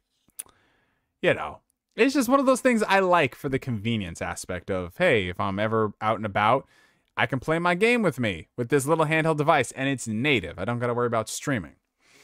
So, my alternatives when it came to gaming on handheld outside of the Nintendo Switch family of systems has been uh just the Steam Deck, right? And now there are also alternatives to the Steam Deck. You have the the uh Asus ROG Ally, you have the uh I believe it's like the Lenovo Legion Go. Um, and then there's just a whole bunch of other competitors in the space as well. But for me, it's either the Nintendo Switch or the Steam Deck, right? Now, when you have Xbox coming into the fray, talk about they're making a a native handheld, not a cloud streaming device, but a native handheld in order to play your Xbox library. Now, to me personally, that is fucking amazing. The idea, uh, let's go, Cumon is back. what the fuck? Cumon has always been here. um, so, but to me personally, the idea of a Xbox handheld device, a la Steam Deck, where you can play your entire Xbox console library on the go. That to me is fascinating and amazing. I love it because as someone who, you know, I like the idea of portable gaming, if you're telling me that I could just buy this device and I already have my existing library and I could take that with me, that is great. And that is why I think the Steam Deck has been as successful as it was. Not only because it's basically you're translating your entire PC library over, but also the fact that they did it in a way where it's not a cumbersome experience. That is the biggest hurdle I think Xbox has to overcome. If they're building this device, is it going to be primarily Xbox centric where you can only play your Xbox game library? Or is it going to be a hybrid where it's Xbox but then also PC? So, hypothetically speaking, you could play your Steam games or your Epic Game Store games on this device in addition to your Xbox console stuff. Now, how would that work in terms of what it differentiates between a PC game and what is an Xbox console game? I have no idea. I'm not an engineer. I don't know how this works. But the idea of Xbox, a major player, creating a handheld device that can do that, their biggest hurdle to overcome is trying to figure out which niche are they going to target? Are they going to target the handheld PC crowd who wants to take their existing PC library on the go? Sure. But at the same time, what are they going to do to make this device that much more enticing than a Steam Deck? I mean, sure, they can probably put this into way more stores than Valve could. They can probably find a way to market this better than Valve, but at the same time, Valve knows exactly what the Steam Deck is and why they're doing it a certain way. They know their market. For Xbox to do this, they they got to be really really they got to be strategic with this shit. And I know every single thing these companies do as far as product launches is strategic, but how are you going to go ahead and market this device? You see, with the Steam Deck, Valve was able to get away with selling this thing for $400 because it's Valve and they have the backing of Steam existing and making tons of money on there that they can do this. Microsoft, on the other hand, even though they've invested all this money into Xbox, bought all these publishers, studios, what have you, what are they going to charge this device at? Right? Is it going to be around that attractive $400 price point, which we we already know $400 is really the sweet spot for a lot of these devices, like Steam Deck. Um, the new Switch that's going to be coming out is most likely going to start at $400. I don't if they can get it any less than that, I don't know how powerful it'll be, but $400 is looking at the starting point. When Microsoft released this device at $400, how powerful would this device be? When would this device come out? Is this going to be a part of their next generation strategy where they launch a new system with this device? Is that going to be their Series S? And then there's also the logistics of okay, so if they have this Xbox device to play your library, what can they guarantee you play these games at? Because obviously it's a handheld device, it's not a set top box. Can you guarantee that these games, at the bare minimum, every new game that comes out, you can run it at like, let's say, 1080p 30 frames per second? Are you going to have modular options where you can adjust the performance? There's a lot to this stuff, but I love what I am hearing. I love the fact that Phil Spencer is talking about how you know, it's about gaming without boundaries and taking your library with you and doing all these things. It's just it's stuff that really speaks to me and when we hear that Sony is satisfied with what the Portal is doing, and they're also talking about making another PlayStation handheld, whether or not this stuff comes out in the next two years or it's going to be saved for a, a, a next generation strategy, I'm excited for it because I never thought that handhelds would be making a comeback like this. And you know, obviously, credit where credit is due. You got to give it up for the Switch and how just that that approach of having this hybrid device, take your games on the go, play it on the big screen, and that really giving all these other manufacturers the added, added emphasis to say, hey, listen, let's do what we're doing. And then Valve comes out and they smash it. And all these other companies come out in the same like two years' time and they're doing great. And now we have PlayStation Xbox doing that. I'm excited, man. I love this idea because as someone who, again, 95% of my gaming that I do, I play it at home. I play it on my TV. I have an OLED TV, good sound system. That's my preferred way to play games. That being said, every now and then I just find myself out and about doing things, right? And sometimes I have a little bit of free time to get some gaming in. And that's really where cloud streaming on Xbox and then also remote play for both these consoles were like I never realized like how great these things were. Now, it's not perfect. Um you do have to have really good internet connection at your base, hardwire systems, and then wherever you're at, this place has to have a good connection, right? But the gaming experiences that I've had with both remote play and cloud streaming, because I go back and forth between the two, it's been fun. It really has, dude. Like I was over at this girl's place last week and she was watching a show and I wasn't interested in the show. I just pulled out my phone and I remote played back to my PS5 here and I was playing Final Fantasy VII Rebirth and guys, it was so friggin' consistent. You know, I hardwired my PS5 here, and then I was at her place. I was connected to Wi Fi, and everything was smooth, bro. It was butter. And at that point, I was just like, okay, you know what? I see the appeal of a PlayStation Portal and why somebody would. Now, the PlayStation Portal, that's just uh, like you are fulfilling the most niche of niche things. Someone like me, who, if I'm at someone else's place, I want to play my games on a bigger screen that's not my phone. That being said, I could jerry rig my Steam Deck. I could download a couple of things and I could basically do PlayStation Remote Play like that, um, which I'll probably end up doing.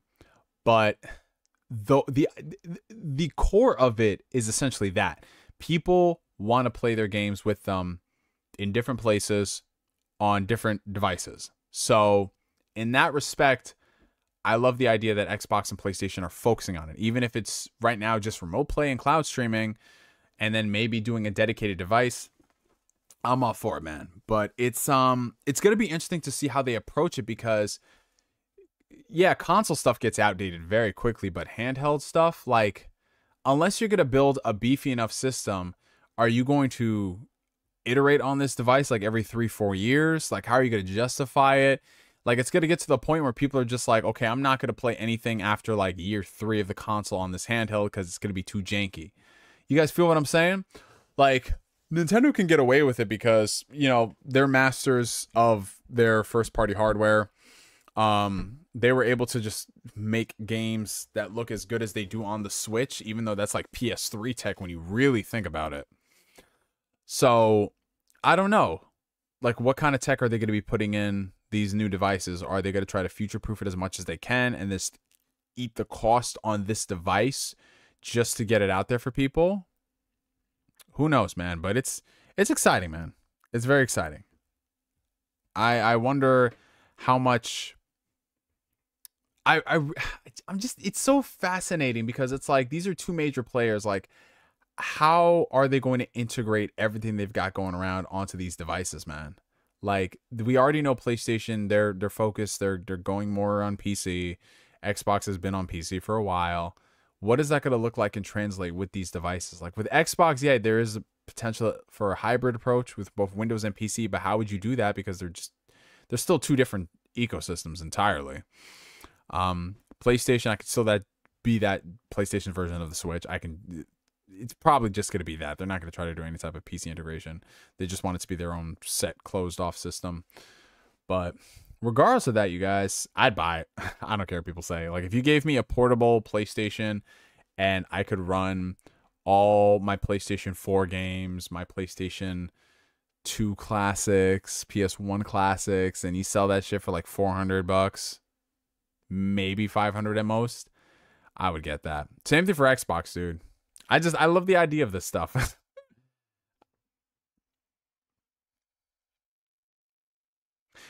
if you thought the Series S discourse was bad, wait until the Xbox handheld power discourse starts. Oh God. But yeah, that's going to be the thing, man. That's why I wonder what their approach is going to be. Is it going to be a device that they're not going to try to market it with the console? It's just going to be that extension. Cuz I like the Steam Deck, for example, there is no discourse about the power. I mean, yeah, there's still there'll be some people that complain about the power aspect, but most people buy a Steam Deck knowing that hey, listen, this is not going to be my two thousand dollar gaming PC. This is going to be this four hundred dollar device that I can play some of my PC games on. A lot of them not, but I just want to have something that's like portable, and I could stream my games from my PC too if I want better settings. Five dollar super chat, uh, well, two dollar super chat from Blue Senchi nineteen. Even if the Switch Two is five hundred dollars, I'll buy it. Yeah, dude, it's gonna be the next version of a Nintendo console, and depending on well, to me, five hundred dollars is a little steep for the Switch.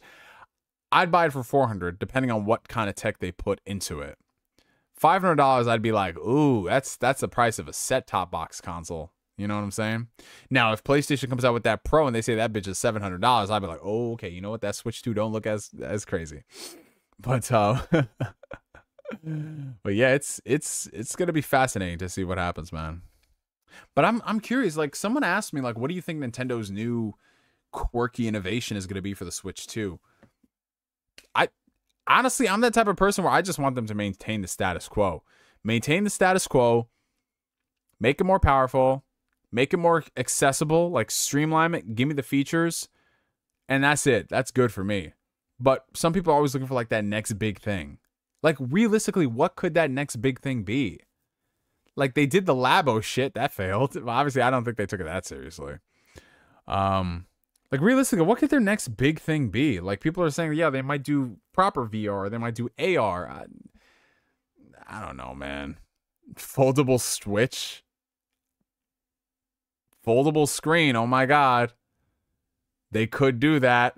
but how would that work? You'd have to like no, it'd be like a clamshell design where you you fold it and then the Joy Cons are on the side. Oh god. How would y'all feel if the next Switch came out and it's not a Switch, it's a set top box? Foldable Switch would be crazy, guys. When that Pro was seven hundred dollars, it'll be a time for Sony to apply for bankruptcy. No, the most they could sell the Pro at is probably six hundred. If they sell it above six hundred, bro, you really have to justify that shit's existence, man. Because now you're getting dangerously close to like PC gaming territory. The reason why consoles worked is because they were like three to five hundred dollars. When you start telling me you you you releasing a console that's seven hundred dollars starting price, and not counting tax, I'd be like, fam, that shit better be worth it. If I see a game at 30 frames per second, I'd be losing it. Labo, stand up. Well, a foldable is only really cool in the sense that like you want something cool. Like foldable phones, I see them more and more nowadays. Like the Z Flip, the Galaxy Fold, all that. They're cool. But are they that much better than like a regular regular smartphone. Like I see people say, like, yeah, well, yeah, it's great because like I can flip the screen, I can do this here, I can do that there, and I'm like, you can just split your screen. But no, no, no, I can just mount it on the table. I'm like, you can, you know, you know what I'm saying? Like it's cool, but I don't. Is it that much better? I don't know. And the price for foldables to me is still just a little too much for what they offer. When you got money like me, you just don't look at prices anymore. You see, that's the thing, Carter Freeman. I'm still gonna be that person when it comes to certain devices. I'll look at the price and I'll be like, hmm, but what do I get out of that price? You know what I'm saying? That's just the frugal person I am. If that PS5 Pro is a seven is seven hundred dollars, I'm upgrading to a 4080. You might as well, bro. Hey, take it easy, Zack Rodriguez. Have a going, man. Nah, you got to drop the price of the base model and hit that 556 in a range, which I don't see happening. Well, that's the thing, Read 94. If this was previous generations, oh yeah, absolutely. They would drop the OG PS5 to 400, maybe 350, and then they release this Pro at the original price. That's what Xbox and uh, PlayStation did for last gen with the the the half gen refreshes. Unfortunately, because of COVID and inflation and everything, the prices that they're selling the systems at now, they they can't take any more of a loss on it. They really can't. And I, and I'm not trying to like damage control for a, a billion dollar corporation, but literally them releasing the consoles and selling it as is is just so they can at least make some money off of it, even though they make a lot of money on software. If they were to keep dropping the price, like normally at this point we would be due for a price drop. We're like half we're about to be halfway into the generation. And normally we'd see like a $50 price cut, a $100 price cut, but it's like no, we're not doing that shit. So that means that the pro version, if it is as powerful as people say, there's no way, unless they are literally eating the cost of this and they know it's just for the enthusiast, no way this can be less than 600. Because PSVR 2 was like, what, 550 PSVR 2 was 550 almost $600 if you do a bundle. So, no way. Yeah, but how many people are really going to be using a folding phone for just reading or emulators. It's cool if you have specific reasons, but for most people out there, I'm, i assume they'll just read like, you know.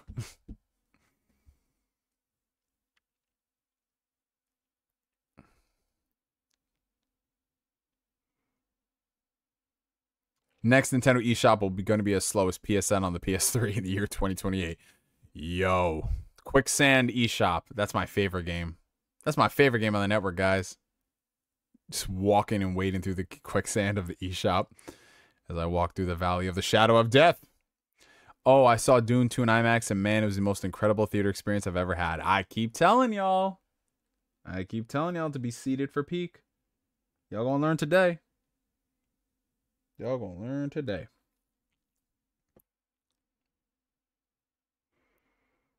But it's gonna be exciting. Next year's gonna be exciting, man. I'm I'm I'm ready for a new Switch. I really am. Even though like I'd have this Switch and it's probably just gonna be for exclusives. Exclusives and physical Japanese games.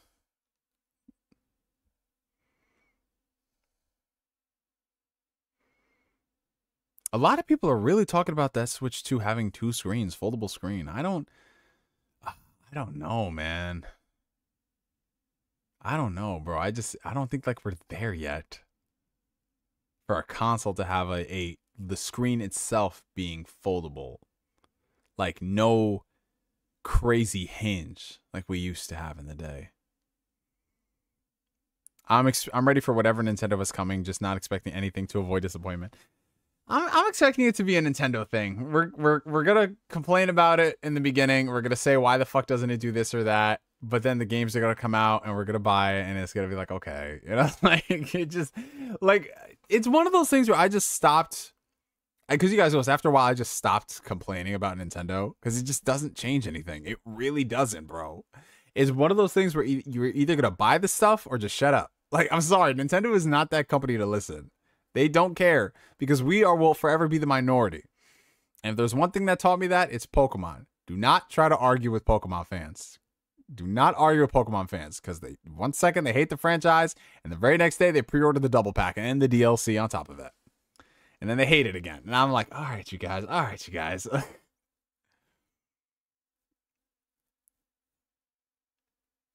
I just want a VR dock and every first person game to have a VR version and a pancake version. You really, you really want to get up close and personal with Princess Peach's playroom party, right? I see how it is. I see how it is, Don Otaku. How was that Princess Peach game, by the way, Don? How would you how would you rate the story on that? Is it good? Does it live up to your expectations? What are they gonna call the new Switch? Are they gonna change the name? Are they gonna do something stupid and call it like the the new Nintendo Switch? Like I don't know, man. I feel like that Switch branding is so good. I don't know. I feel like they have to just I don't know. I only played the demo. It was a 7 out of 10. 6 out of 10. Damn. Man just went from 7 to a 6. Ooh, we got a $5 super chat coming in from the homie Blue Senchi. Thank you, bro. Nintendo about to name the next console the Nintendo Super Dual Screen Switch 2 Deluxe, featuring Dante from the Devil May Cry series. That'll be a launch game, Devil May Cry 5. This man, Jason just said, I really want some of Peach's Peaches. Whoa, sir. Whoa. Relax, my guy. Relax. It's not even Thursday, and yet this dude is so thirsty. The Nintendo DS, the double switch. Oh my god. The double switch? Jesus. The super I, I really fuck with the Super Nintendo Switch. The Super Switch. But I, I feel like that's so stupid. But again, that is something Nintendo would do. I just hope it's not like just the new Nintendo Switch. Or the Switch. Maybe it's just so simple as it's the Switch 2. Where's my Switch 2? Stellar Blade demo is going to be peak. No, shout out to Stellar Yams. Yes, sir. Dual wielding Switch. Oh, I like that build. The Switch up. Oh, God. The Switch up. I'm going to switch it up. The Switch up, you guys. The Switch up. That sounds like a, a, a Switch review site. The Switch 2 is so simple. Don't be Microsoft with names. The Switch 1X. Yeah, that's what I'm talking about. Can I get a Switch 1X, please? The Twitch. Call the Twitch. The Switch Z2. This is the, the, the Switch Fold Z. The Switch Nintendo Entertainment System. wow. The Switch Nintendo Entertainment System. Wow. So we have the Switch Nintendo Entertainment System. We have the um the Nintendo DS, the double switch.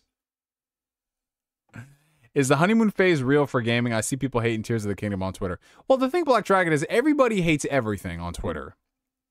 Like, everybody hates everything. Everything is going to get turned on. Everything. Sooner rather than later, you're going to see people come on here and say that it's time to admit that this game was ass. And it's like the day after the game comes out.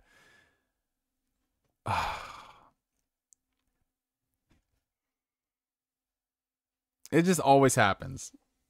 I don't understand it. Like I can understand critiquing something, but when I see someone come out there and say this game is actually terrible, and it's like, no, it's not. It can be disappointing, but it's not terrible. Like when I see some people come out here and say shit like, "Oh, Spider-Man 2 is terrible. It's one of the worst games." I'm like, no, it is not. At worst, it can be disappointing, yes. But like when I see some people say shit like that, I'm like, all right, bro, you guys are not serious. The Super Switch Entertainment System. I like what you did there. The Switch comes in two pieces: the Switch top and the Switch bottom. Hey, are you guys a Switch top or you guys a Switch bottom? Hmm. Think about that. We were just talking about uh, Plant Lord. It's so funny because we were literally the, the whole reason we started this discussion was we were wondering what is that new gimmick going to be. Now, me personally, I want it to be the latter. I just want it to be a better Switch, more competent, more capable, more durable, and that's it for me. But in true Nintendo fashion, everything's got to have a gimmick for some reason. So now we're just wondering what is it going to be? Is it going to be VR? Is it going to be AR? Is it going to be a foldable screen? Is it going to be I know what the gimmick's to be. I found out what the gimmick's to be. I know what it is, guys. I'll tell you exactly what the new Switch console's gimmick's about to be. Hear me out. Hear me out for a second. The new Switch console, whatever its name going to be, right? The new Switch console's gimmick that you've never had in previous generations is that you're to be getting first party Xbox content day and date. That's the new gimmick. Mm. Mm. Think about that for a second. Think about that. Yeah, that's right. You heard it here first. You heard it here first. The Switch 2's gimmick is that you're getting first party Xbox content day and date. Yes, sir. we are really breaking down the, the, the fuck out of what this Switch console will be. This is crazy. There was one Deaf Girl mission in the MJ missions. Yeah. Halo on the Switch would go fucking hard as hell, dude. You told me like Halo Reach co-op on the Switch. You told me that wouldn't slap. Yeah, I could do it on the Steam Deck. But can I play it on the Switch? Absolutely. Yes. the canceled Halo DS game. We didn't forget. We didn't forget. No, we're gonna get that. They're gonna reboot it, exclusive to the Switch. Master Chief Collection on the Switch would be crazy. It really would be. Like that's so much portable power, bro. That's the entire lineage and legacy of Xbox in the palm of your hands on a Switch. That is insane. Shout out to Uncle Phil for that. $2 super check coming in from Flame. I'll be there day one if there's backwards compatibility. Just saying. Well, why wouldn't the Switch 2 have backwards compatibility? If the Switch 2 doesn't have backwards compatibility, honestly, that is a very Nintendo thing to do. But at the same time, I, I don't feel like it wouldn't. I just, you know what I really want the Switch 2 to have? And again, this is something I just, I know Nintendo's going to do, unfortunately. I wish that Nintendo Switch had backwards compatibility where the games themselves could retroactively benefit from the new hardware. So they'll have like at least a stable resolution, stable frame rate. If they didn't, with a simple patch, maybe it can fix it. But knowing Nintendo, we're going to sell you Tears of the Kingdom on Switch 2. Now it's at 60 frames per second, 1080p. And people are still going to buy it. They're going to release it again for $70. Uh, it's going to happen. It is. Now, most people would just do like a free update, smart delivery, and all that. But Nintendo's like, no, no, no. We're going to sell you the Bayonetta trilogy, all three games, now at a stable 60 frames, 1080p. And I'm not going front depending on what the game is, I might double dip. I'm not going front. Bayonetta 3 one's like ass on the Switch, bro. But if you give me that trilogy, all three games on one cart or two carts, I'll do that. Even though I own Bayonetta 2 on the cart. I'll do it. Oh, the hell do that? Reminder that only two Nintendo consoles handhelds have ha- haven't had backwards compatibility post N64. Yeah, dude. The GameCube obviously didn't because that was a new format and the um the um obviously the N64 didn't, you know. Hot take Sunshine is better than 64. Boomer is over here hyping 64. Oh shit. I love Sunshine. But better than 64? I don't know.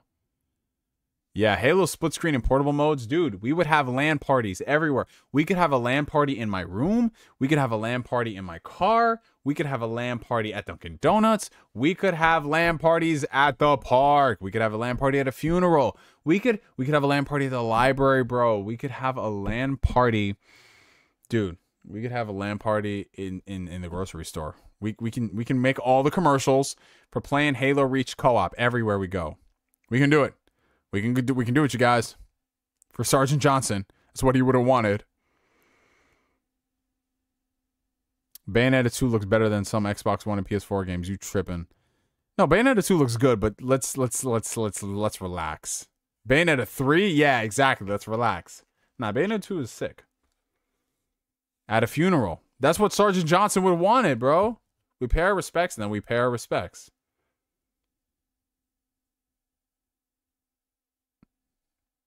Yo, the homie Jason is a sick individual, you guys.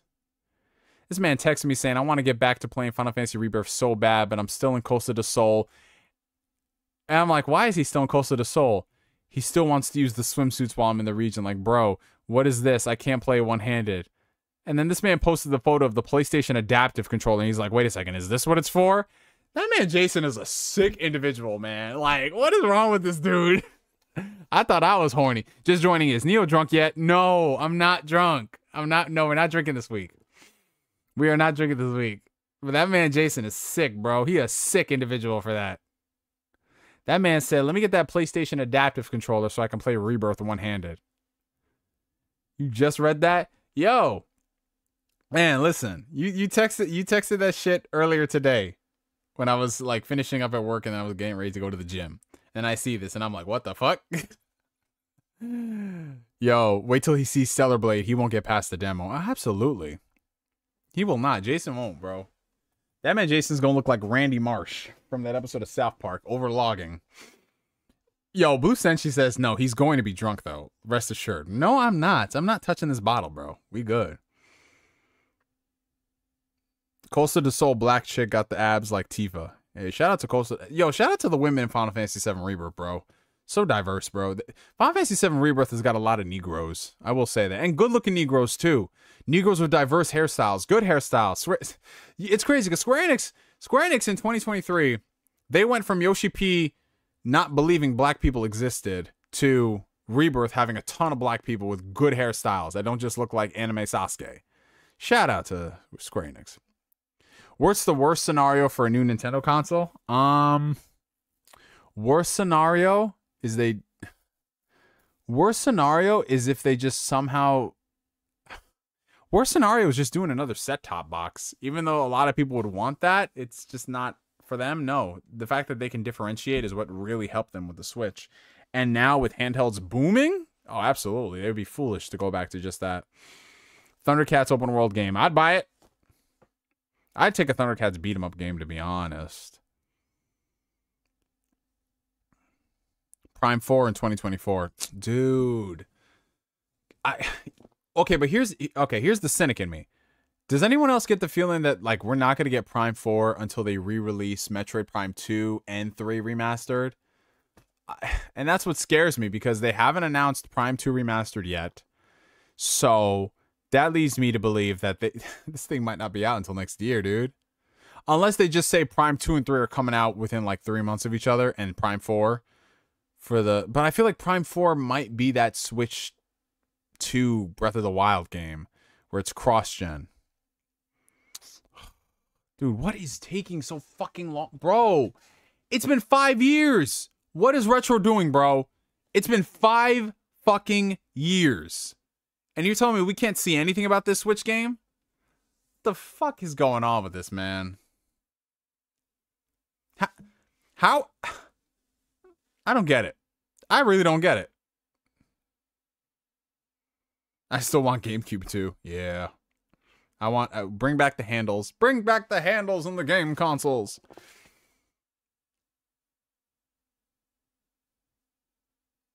Wolverine, nah, Wolverine's gonna be, I want to say, probably 2026. Just with the leaks and everything, what happened? It's 2026.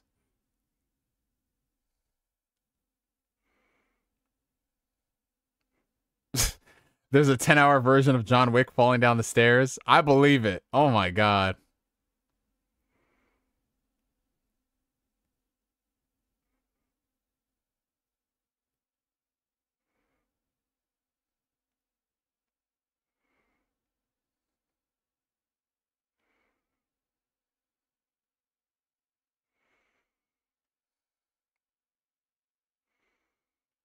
The Wii rumors it was going to be a triangle GameCube called TriCube. Oh god. That is crazy. That sounds like something you would see in like a like a like a 2000s comedy movie. Like like you know how Drake, and Josh had um the Game Sphere console? That, you know? Yeah. Game Sphere. Game Sphere.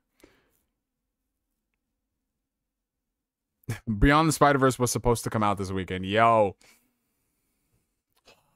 dude. Even before the strikes happened and everything, the fact that we heard that Spider Verse, um, Across Spider Verse, literally, they finished it. They were still working on that shit up until the last minute. I was very shocked. I was like, "Oh no, this is not. That means the sequel ain't coming out any soon, anytime soon." It's spherical, spherical. Do you have a game that you want remade besides Final Fantasy 9? Oh, absolutely. Uh Dino Crisis. That's next on my list. Dino Crisis, Final Fantasy 6, Chrono Trigger. Uh I I mean, for a lot of games I could go for like a new installment. Like I could go for a new Tenchu, you know, a new Onimusha. Do I need remakes of the old ones? I don't know, but I can go for a new one too. Dino Crisis, I can go for a new one or a remake because it's so old, you know. Final Fantasy 6 and 9 and Chrono Trigger, yeah, you can remake that. Legend of Dragoon is the only PS1 game that needs a remake. Nah, there's, there's definitely a lot of PS1 games that could get a remake. And them controls, my brother. Need for Speed Underground 2 remake. Yeah, why not, bro? Just, you know we need? We need another Most Wanted remake. How many times are they going to do that? But we already have a new Dino Crisis game. What game is it, Flame?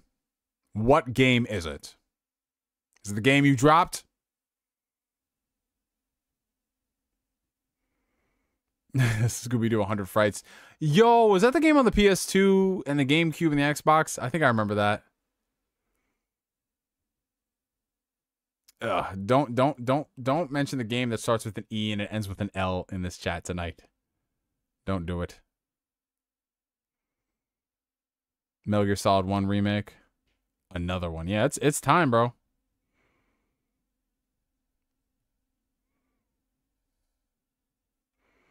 But will it be boneless or will it have soul? Because that's the difference.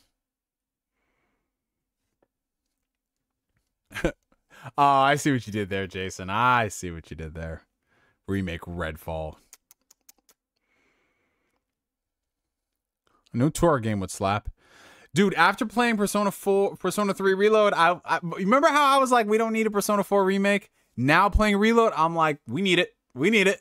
Streets need it, bro. If it looks that good, yes. Um, least favorite region. Ah, uh, anything with the map irritating me. On okay, so here's the thing. Honestly, none of the regions have really bothered me yet. I mean, aspects of Cosmo Canyon a little bit. But none of them have really bothered me because I've just been mainlining the story. I feel like if I went crazy with the side content, I think some aspects could annoy me. I could see Gongaga being fucking irritating. Because I was just looking at the way that that map is leveled and layered. And I was like, oh no. I mean, I hit the mic. I was like, oh no. So I just did the main story. But I. Yeah, Flappy Bird remake. Yeah. the, the unseen story. Um, but I nothing is annoying me as of yet, which is weird to say because I'm, I'm like more than halfway done with the game. But Gongaga, I just I looked at that design, I was like, uh, uh Cos, like I said, Cosmo Canyon is starting to get on my nerves, but it's not to the point where I just want to like throw everything out. And I think that might be because I'm already in this mindset, Corey, where it just it makes no sense just want to throw out the game. You're not gonna finish it, so just wait till you finish the game, then just complain about everything. Me, Gaga? Bro, Red 13 is beating my ass at Queen's Blood. Hey man, listen, gotta get good, my friend. Sounds like a skill issue. Sounds like a skill issue, my G. Guitar Hero remake, I could see it. Same, brother. Persona 3 Reload got me on a merciless challenge run right now. Well over 150 hours. Damn. Shout out to you, brother.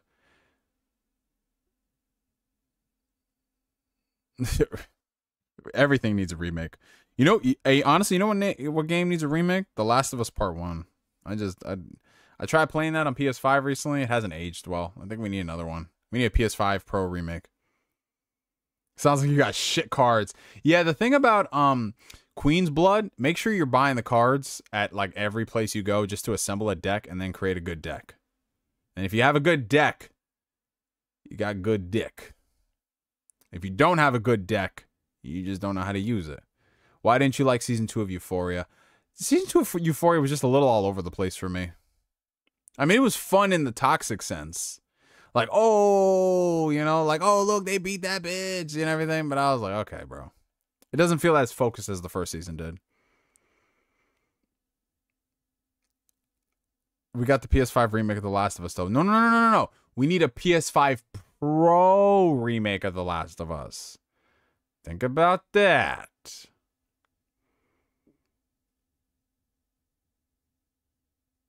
Oh, God. We do not talk about the cat. Yu-Gi-Oh! Duel Set the Rose needs a remake. You know what needs a remake? Yu-Gi-Oh! Where where are my DS Yu-Gi-Oh games? Where the fuck did they go? They were around here. Yu-Gi-Oh! You know what needs a remake? Yu-Gi-Oh! Tag Team Hero Duel or whatever on the PSP. Tag Force. That needs a remake. Everything needs a fucking remake. the cat, the cat.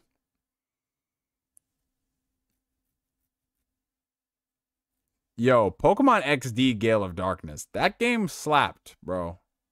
You guys remember that. I know you remember that. Jak and Daxter needs remakes. Nah. Uh, part, yeah, a lot of Jak 2, yeah. that one fucking. Jak 2 needs a remake specifically because of those fucking save points. Those fucking checkpoints in that game were agonizing. Oh my god. I remember like there were some of these levels in Jak 2 you'd be playing and you might die on some bullshit and then it starts you back at the beginning. I was like, what the fuck? Yo. That dig site mission? I you know I never really played much of Conquest though. I'd meaning to play I had meaning to play it and I just didn't. Played like a little bit of it and I was like, eh. I still need them to re remake Last of Us Part 1 on PC. Oh, I absolutely do. But are you telling me that Ellie wasn't iconic? That Ellie on this horse who was like, Ugh. that game isn't gonna beat that. That game isn't gonna be that hard without the checkpoints. For honestly, Marcus, the biggest problem with Jak Two were those checkpoints. They were so fucking annoying. Jesus, Star Fox Adventures remake, the last of these goddamn re-releases. Bro, I need to get back on Pokemon Conquest on my handheld. They need to remake that. Maybe they might put that shit on the Switch too. Let's get it. We need a Persona 2 remake. Well, Persona started with 3, so I don't know what this 2 is. Now, but that is my dream. If we got a from the ground up Persona 2 remake, I just don't trust Modern Atlus.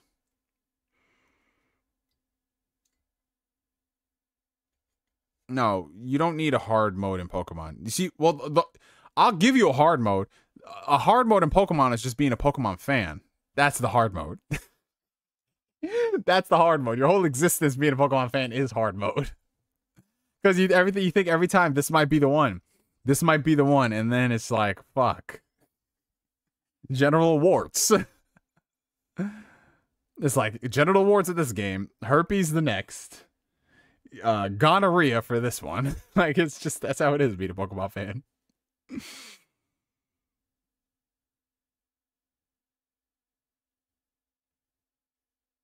no, you listen there are three constants in life: death, taxes, and a remake of uh, Star Fox 64. Like you're, that's all you're going to get.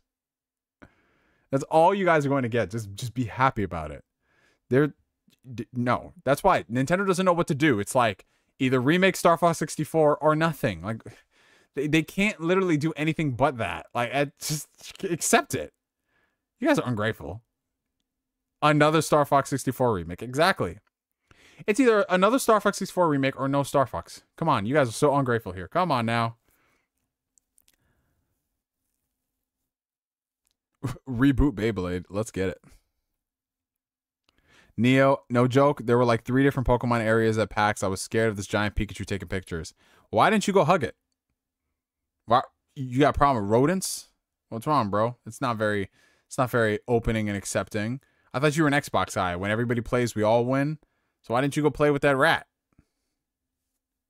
Why? Is because because D.Va will smell the rat on you and she'll be like, "You rat! I knew it."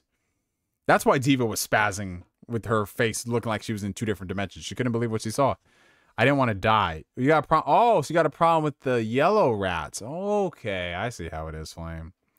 Flame, you've been moving kind of weird recently. Not going front.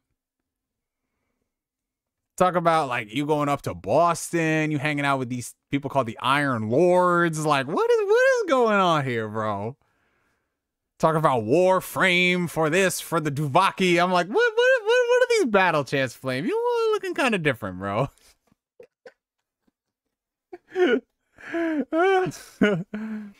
Talk about I'm about to reload this. I'm like, reload what, Flame? What, what are we doing here? What are we doing here, Flame? we need another Ninja Gaiden. Uh, we, yeah, we are due for one. The last one was like what 10, 11 years ago. We got that uh the remaster collection that I don't think did anything.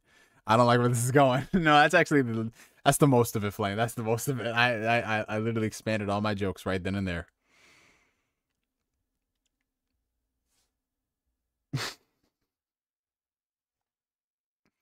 open world Bayonetta. Oh, please no. We we need less open world games. There are some rumors, people saying that the next Resident Evil game might be open world. I just, I'm tired. I'm so tired, you guys. I'm just so tired, guys. Why? Why does a Resident Evil game need to be open world? Like, it can be open ended, sure, but not open world, please. We, dude, that Devil May Cry 6, I feel like is starting production now. Because Itsuno is working on this he gonna take his ass back to Devil May Cry after this. So fingers crossed we get that shit by the. It's gonna be like Devil May Cry Five. We're gonna get it at the end of the generation, and we just gonna love it. it's gonna come out like 2027, 2028, and we be good. Why are we doubting Capcom now? Man, listen, I just don't want no open world Resident Evil, bro. I don't need that in my life.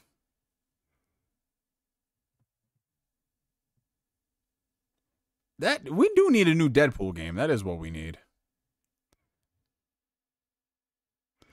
I don't know, like an open world horror game. Like, like I know people are bringing up like, oh well, eh, like Evil Within Two was bigger. Like you could make it like that, but I'm like, no. I don't know. Like, well, what are we gonna get from it being open world? Like, oh, there's a jump scare there. Now there's a jump scare six miles away. I'm good, Chief. I'm good, fam.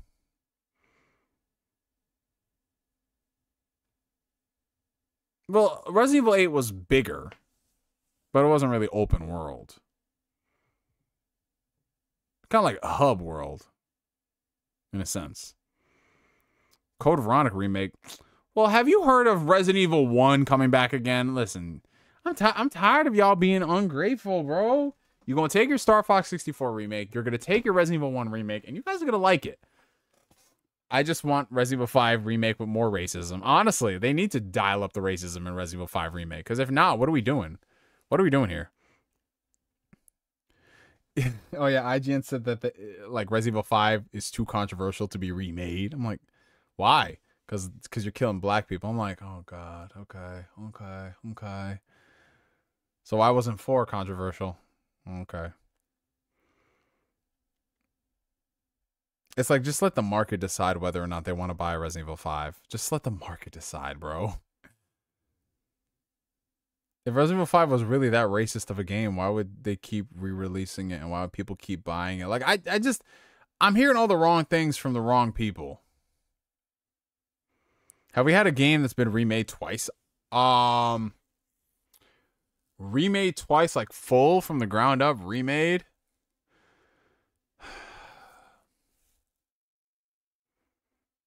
If they do Metal Gear Solid 1 again, yeah, that'd be it. Um, like Last of Us. Well, the, Last of Us was a remaster, then it was a remake. no racism Resident Evil 5 is like no cheese in my hamburger. Do you guys know there are people who eat hamburgers with no cheese? That's weird to me. You're just eating a bun with meat and sauce. Honestly, I feel like if you eat hamburgers with no cheese, you might be gay. There's no problem if you're gay, but I'm just saying, like, you just eat a, you just eat meat with sauce on it. You just, it's pretty gay, bro. I'm just saying. Like, why would you do that? Why would, why would you just eat meat with bread and sauce. Where's the cheese? Neo hates lactose people. Only only for like this specific situation. Yes, fucking freaks, I'll say. They are freaks. Like like you just go out with someone, can I just get a hamburger?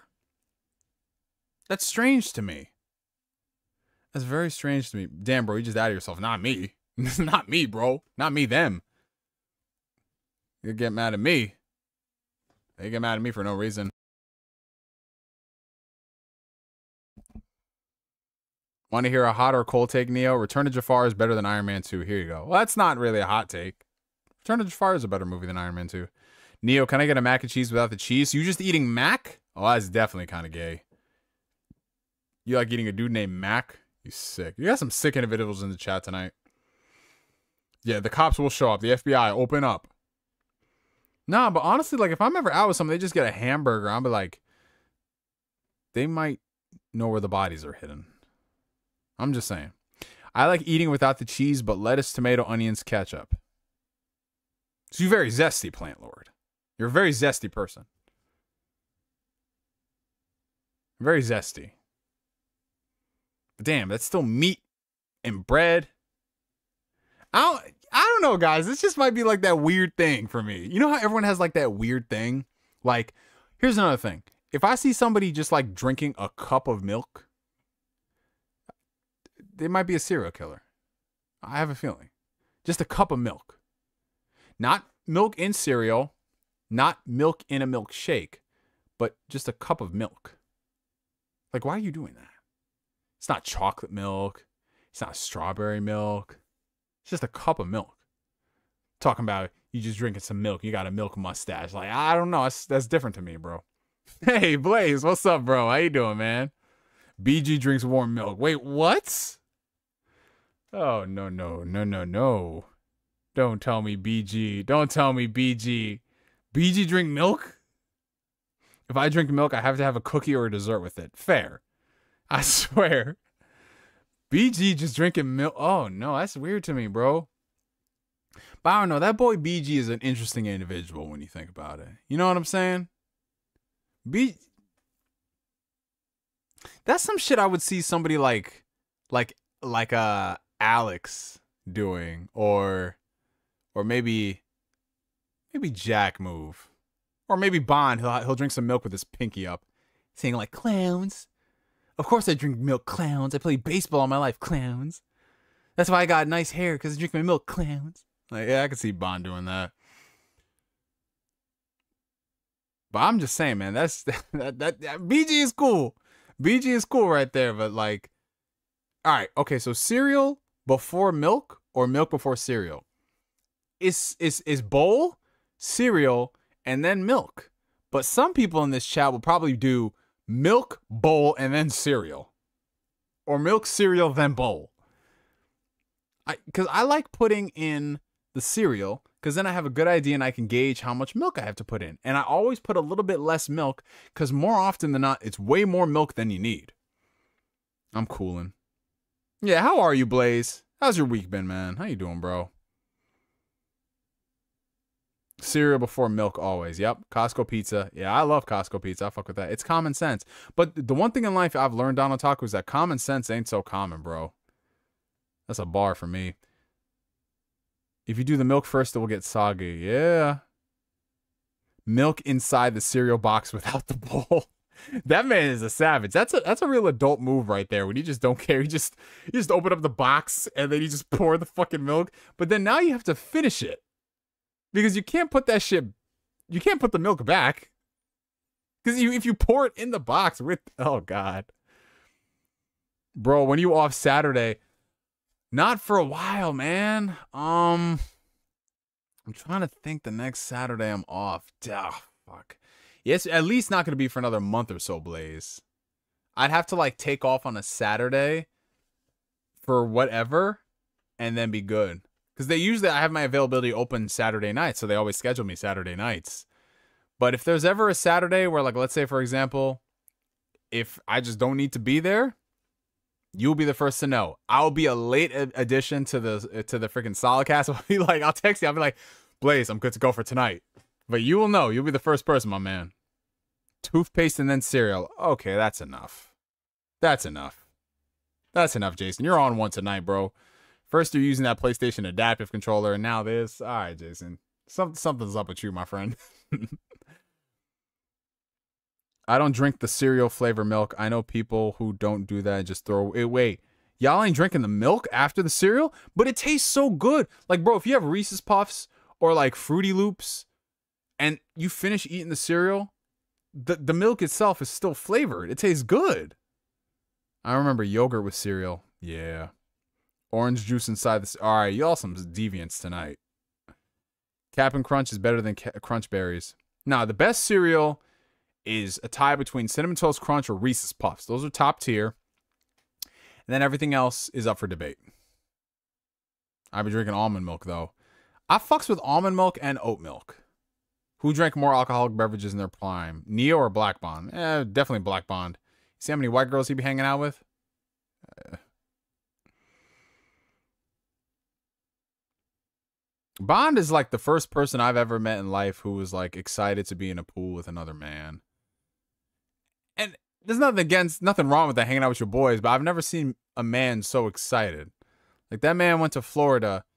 the only thing he showed us is him in a pool with other men. Like, I, you know what I'm saying? Like, if I'm out with my boys, like we out, like we at a bar, we at a convention, we doing something, but like this man Bond was in pool with other men. I don't. That man Bond is different. Maybe I'm not at that age yet. I don't know. Tequila and cereal. Oh, you having one of those mornings? Has anyone ever tried a beer ice cream float? No, I haven't though. I have not and I want to. I'm tired of this Reese's Puffs glazing. No, it's not glazing, bro. It's fact. You just don't like the peanut butter chocolate flavor, bro. You know, Don Otaku didn't like it because there was a black man advertising growing it up. That Don Otaku was just like, where's my white baker? Literally, because he saw the Cinnamon Toast Crunch commercials. But he saw a black man on there. He saw a Negro rapping. He's just like, ugh, too uppity. Almond milk is just nut. It is. It really is. Well, when you think about it, the first person, guys, when you think about it, the first person to like ever, you know, give us milk was a very horny individual when you think about it. Because he like went up to a cow and he just like looked at its titties. It's very strange. If there's no white man on my cereal, I don't want it. Wow. Bottom tier sugary cereal. Honey Smacks, Golden Crisps, Oreos, Apple Jacks. I remember I loved the Oreo cereal as a kid, and then I tried it as an adult, and I thought that it was just okay. And then I I I found a life hack to more diabetes. It's to get actual Oreos, crumple them up, put it in a cereal, and just eat it as fast as you can before the Oreos get soggy. That was my solution for the lack of the Oreo cereal until I found them again. You know what's one cereal that I don't really fuck with? Um, Lucky Charms, because it's just y'all eat it for the marshmallows. Let's be real. Um, Lucky Charms, I don't fuck with, and then a lot, like a, lot of the weird ones that Don Otaku just said. You know, I don't fuck with Lucky Charms. Kix is okay. Regular Cheerios is psychotic. Um, the uh, Raisin Bran, y'all niggas just eat it for the raisins. Uh Rice Krispies. Their treats are better than the Rice Krispies cereal. Cocoa Krispies are good. Cocoa Pebbles are good too. Golden Grahams is nice. Ew, ban Neo. Ban me for what? No, I said most of what he said, read 94. Apple Jacks is good. I had French Toast Crunch. Nah, you know, you know what you guys need to be careful of? Be careful of these cereals that look too good to be true. Be careful of the cereals that are these collabs and shit. Like I remember I had Cold Stone ice cream cereal. Most disappointing cereal, man. I thought it'd be something it wasn't, and it wasn't, bro. It said it was a birthday cake flavor. I felt like Dewey. I felt like Dewey from Malcolm in the Middle. Oh, $10 super chat coming in from the homie Artsy Avanti. Are there any games you've always wanted to play but always procrastinated in getting? In my case, it was The Last Story for the Nintendo Wii and Magna Carta 2 on the Xbox 360. Um so procrastination in the sense that it took me a while to play them and then I finally played them and it was like peak. Is that what you mean? Or just games that are on your list to get and you just never got for whatever reason? Uh well, most of the time I will buy a game if I'm excited for it, and if I just don't get to it for if it takes me a while to complete it for a few years, you know, like Persona 5 Royal. But in my defense, I did start three different playthroughs of that game. So hypothetically speaking, it's not as bad. Um if I had to pick one, dude. Well, I mean, I bought this. Well, I guess that's partially I I want to say Octopath Traveler 2 because this game did come out last year. I bought it because it was a buy one get one free sale at GameStop, and I've only put like 10 hours into it. So I'm kind of procrastinating this one here if I'm talking recent games. Um I mean, because it's kind of hard to say I'm procrastinating stuff when there's just so much to play that I don't really focus on things that aren't in like my forefront. You know what I'm saying? Because if if because there's no way we're gonna be play be able to play every single game. You just have to focus on the ones that we want. Speaking of you, Artsy Avanti, we were just talking about you like an hour ago. We were talking about um because uh, people here were saying like, yeah, I want to start up Kakarot, and I was like, yeah, Avanti donated for us to play it like four years ago, and we played it, and then Avanti was just like, I'm bored. Can we do something else? Because we were like, ah, oh, this, this is definitely an anime game. Yeah, bro. It was like an ice. It was you know it was like a birthday cake, Cold Stone ice cream flavored cereal. It was too good to be true, my friend. Man, my girlfriend used to call them. Wait for it. She used to call them Golden Grahams. Golden Grahams.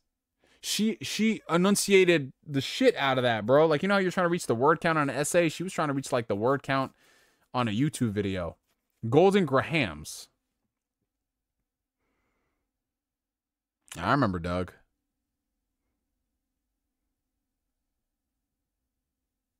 Speaking my girlfriend, she got a copy of Magna Carta 2 as well. That's oddly specific.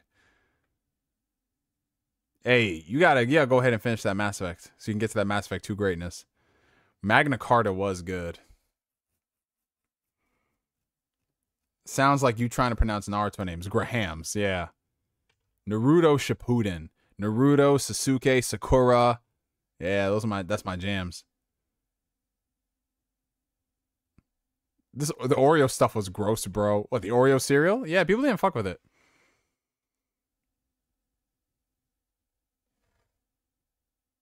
I just had pro- you know what it is? It's not that I had problem pronouncing stuff growing up. I was just around people that just really didn't know how to pronounce shit. So I just thought it was legit. Like I told you my cousin and how you pronounce stuff from Zelda. You know, like first thing, Ocarina. Okay, that's fine because some people said ocarina, some people said ocarina. Okay. He he pronounced the the the Deku tree is the Dooku tree, and I was like, I see an E in there, but it's the Dooku tree. All right, you know, because you didn't have any real spoken dialogue in that game. So he said the Dooku tree. I was like, okay, sure. And then he said like Hyrule was pronounced Hyrule. Maybe my cousin had some issues. Maybe my cousin had some issues, bro. it could have been that. He he got some things right, like Epona. You know what I'm saying? Unless like, we've been saying that wrong this whole time. And then he said like Kakariko. I feel like that's right. Yeah. What else did he say? Uh uh No, I think everything else was fine. Your cousin might be artistic. did he fail English? No, he he's fine. He did fine. But it was just like that game in particular. it was just that game in particular, bro. Man said he's acoustic. acoustic, artistic. Bro was just saying shit. I mean, yeah, and I thought it was that's how it was. And then I remember I had this conversation with my sister. I, I want to say it was like 10, 11, 12 years ago. I was like, you know, I don't think this is how we pronounce this stuff. And then she had this moment of silence. She was just like, yeah. I mean, certain things, it's up for interpretation depending, you know? Like people like, for example, um, Naruto, Mad- Madara. People pronounce it Madara. Some people pronounce it Madara. Um, Hidan and Kakuzu. Hidan, people did Hidan, You know? Uh People said so people pronounce Madara Madeira. Madeira. Yeah, like I said, bro, it's it's you know. I used to call Vegeta Mojita. Damn. That man just did a whole different letter. I respect it.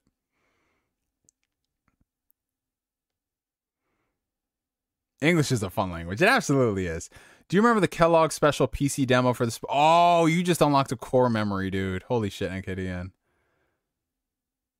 All I gotta say is, Neo, you have to try Pringles buffalo flavor. Mm, really? I, guys, I was tempted to buy Pringles yesterday, but I, I looked at the price of Pringles for a regular can, not the super stack. A regular can of Pringles was like three dollars. I remember there was a time where Pringles used to be a buck fifty for a big can, and now it's three dollars. Joe Biden, what are you going to do to address the inflation towards sour cream and onion Pringles? That's what I need to know before I hit the polls.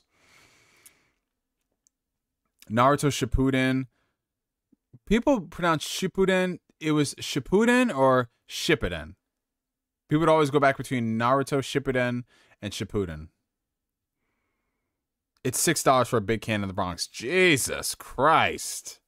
For a big bot for a big uh, can of Pringles over here, it's like almost five dollars. it's terrible, guys.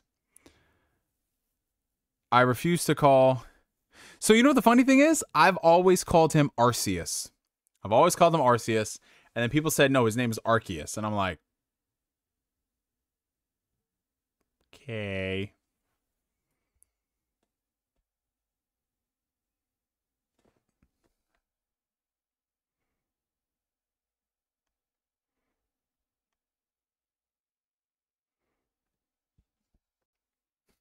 My classmates in high school pronounce Inuyasha as I- I- Inuwasha.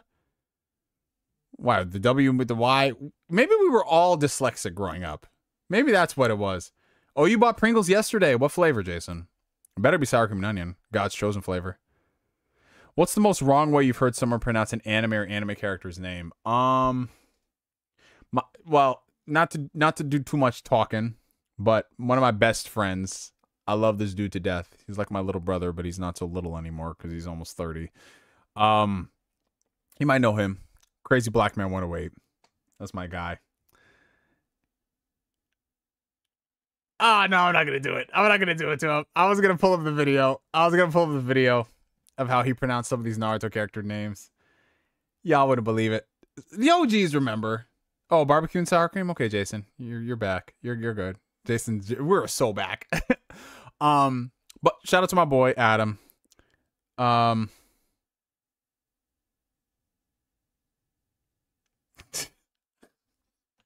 there was a video he made where he was, mind you, he was really excited because they were localizing um Naruto Ultimate Ninja 6 that was on the PSP. Well, well, Ultimate Ninja 6 XL 3 and they brought it over. I think it's Naruto Ultimate Ninja Heroes three, and there was uh one of the members on I think Sasuke's team. And I forgot how he, he the way he pronounced what would the shark dude on Sasuke's team. What was his name? Starts with an S. Shark dude on Sasuke's team. The guy who had like the FAP arm. Okay, thank you, lazy otaku. You're not so lazy. Suigetsu. Suigetsu, right? So we can all agree his name is Suigetsu, right, you guys? Suigetsu. Suigetsu. You guys know Suigetsu. Um, my boy, Crazy Blackman 108. Shout out. Love this dude to death. That man pronounced uh, Suigetsu. I, I don't know how. I know he was excited because the game got announced or whatever. Hold on.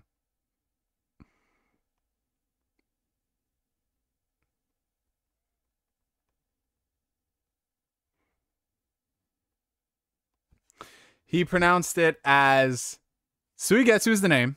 He pronounced it as Setsujin. Setsujin. How he got one from the other? I don't know. I don't know. Yo no sé. Man said Setsujin. Like Set Su Jean. From Sui Get Sue. So he got a sue. He got a sue, but I don't know where the rest came from. Um, so that would definitely be the most wild way I heard somebody pronounce it. he was thinking of Setsubin.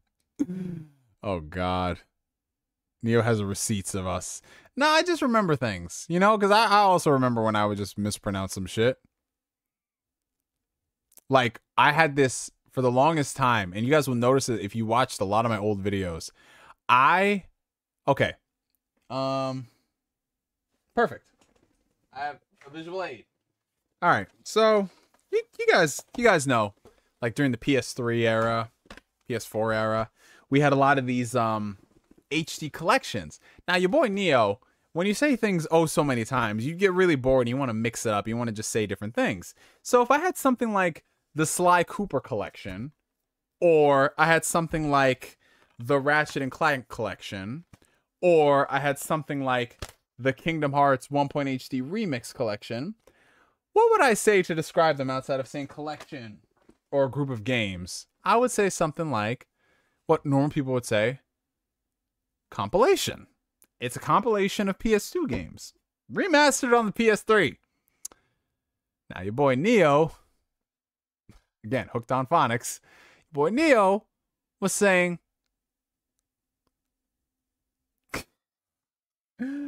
compilation. I was saying compilation, and nobody bothered to correct me for so many years. They were just like, oh, I know what he meant to say. But I've been saying that for the longest time.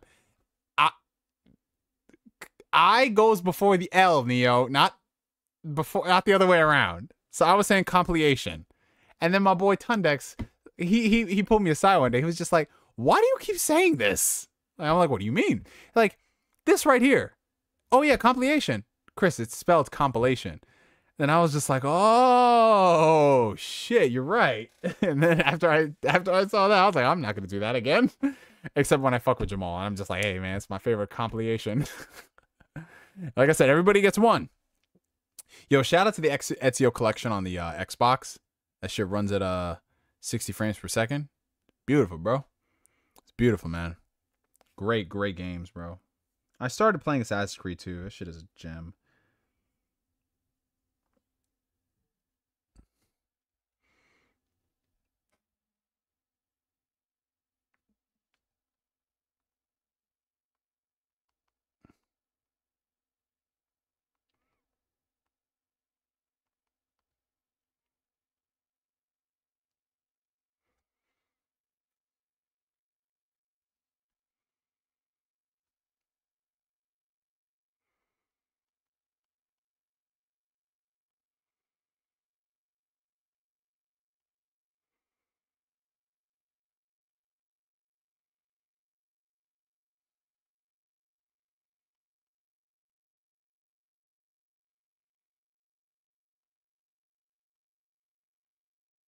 Sorry.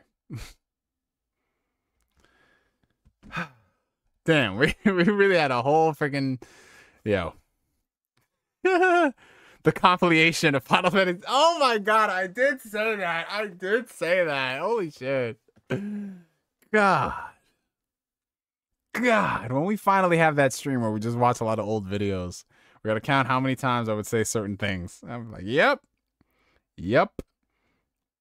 Who has the better compilation, Sonic, Mario, or Mega Man? What do you mean by that? Like, who has the better like collections they've done? Well, the Mario ones you can't buy anymore. I would say technically the Mega Man ones, since those are the ones that are like readily available. You were still green, it's fine, yeah. But was I the big green dub, of Avanti? Ah, big green! You better let that child alone. and I did not misspeak. That's what they actually said. You better let that child alone. Oh, man fucking memories right there. Golly, guys, I'm looking at the clock right now, and it's 10:40. I I know I said this was gonna be a 90 minute stream, and here we are. It's been almost three freaking hours. How do we keep doing this? I have no idea. It started with us talking about Sonic, then an Xbox handheld, and then how to pronounce things. I used to mispronounce platinum and called it platinum. That's no, I mean that's not too far off. Platinum, platinum. It sounds like you're saying like Palutena's army or something. Um, but before we go, hold on one second. I'm missing my essential tools.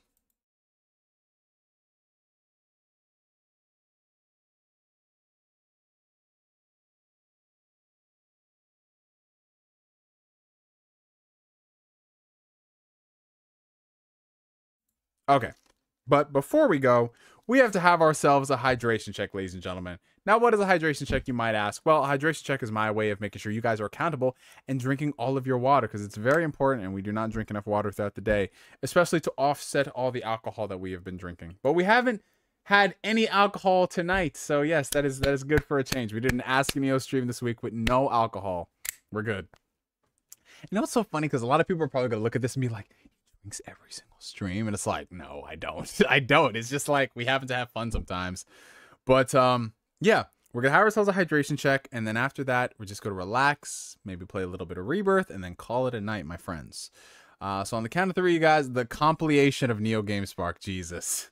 Uh don says i just finished my water bottle. I believe you don. I believe you. So you're good my friend. Um and i didn't even drink any water throughout the course of the stream if you guys can believe that. That's a new record for me that's a new record. But uh, yeah, on the count of three, one, two, three.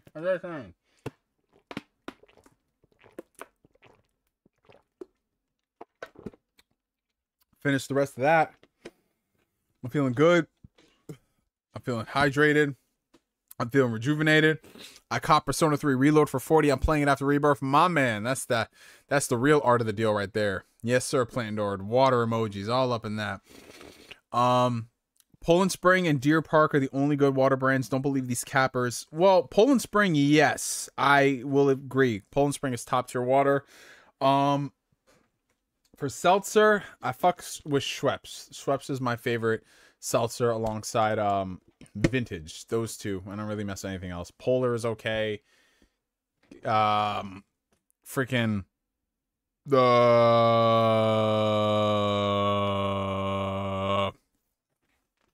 What's that other brand I drank? Polar. There's another brand I wasn't crazy about. Polar.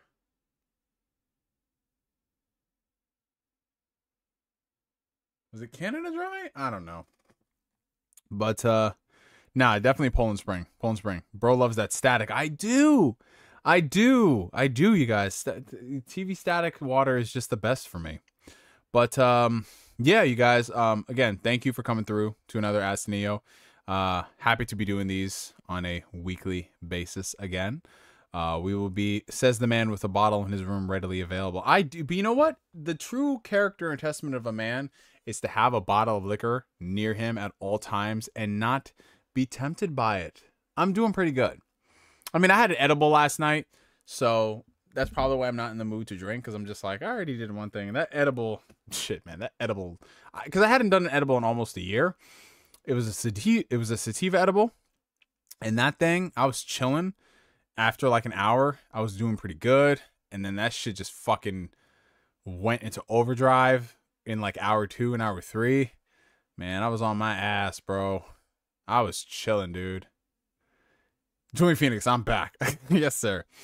Um, no, I don't fuck with Fiji water. I don't do Fiji water. I don't do Dasani. I do Essentia. I love Essentia water. Essentia is really good.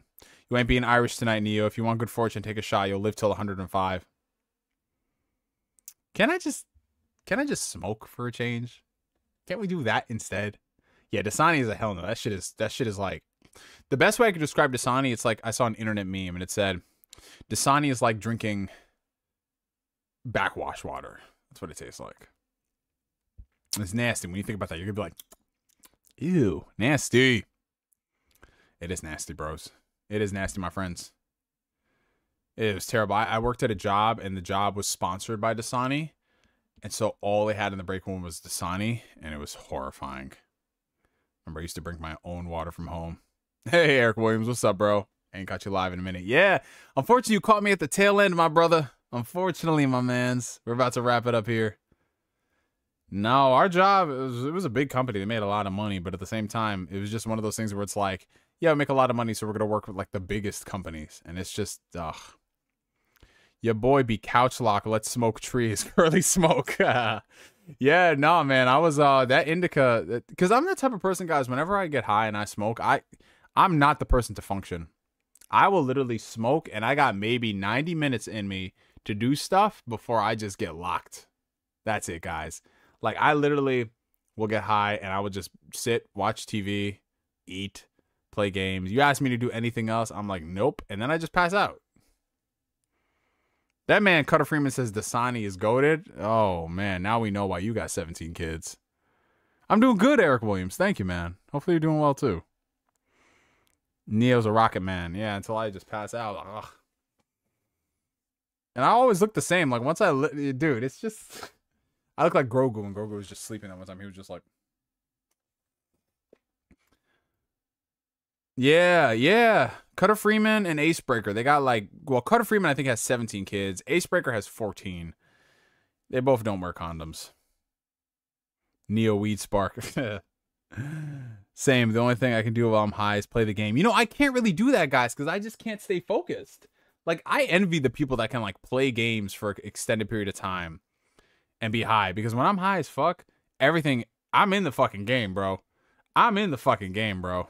Like, dude, I was playing um I was playing zombies one night. We were playing Black Ops 3 Zombies and the edibles started kicking in. Bro, those zombie screams were a little too close to home. Like a little too close to home, man. I remember at one point I was so far gone. I took off the headset to go to the bathroom, bro, and all I heard was like I just the bathroom is like literally two feet away from me. Like I open this door, the door is right there, and I went and then I remember like there's that awkward period in time where it's like my door is closed, there's darkness in the hallway, and then all I was hearing was just the zombie sounds like rah, rah, rah. But I was like, it doesn't make sense because my headset is connected to my console, so there should be no sound coming. Why do I hear the zombies? And at that point, I was like, I gotta turn off the game, bro. I turn off the game, man. Whiskey is the water of life. Without it, there will be a civil war. Well, if there's a civil war from now until next Tuesday, I think you might be onto something. Yeah, man. If I was high as fuck and Tifa was with me, bro, it'd be over. I'd be so happy.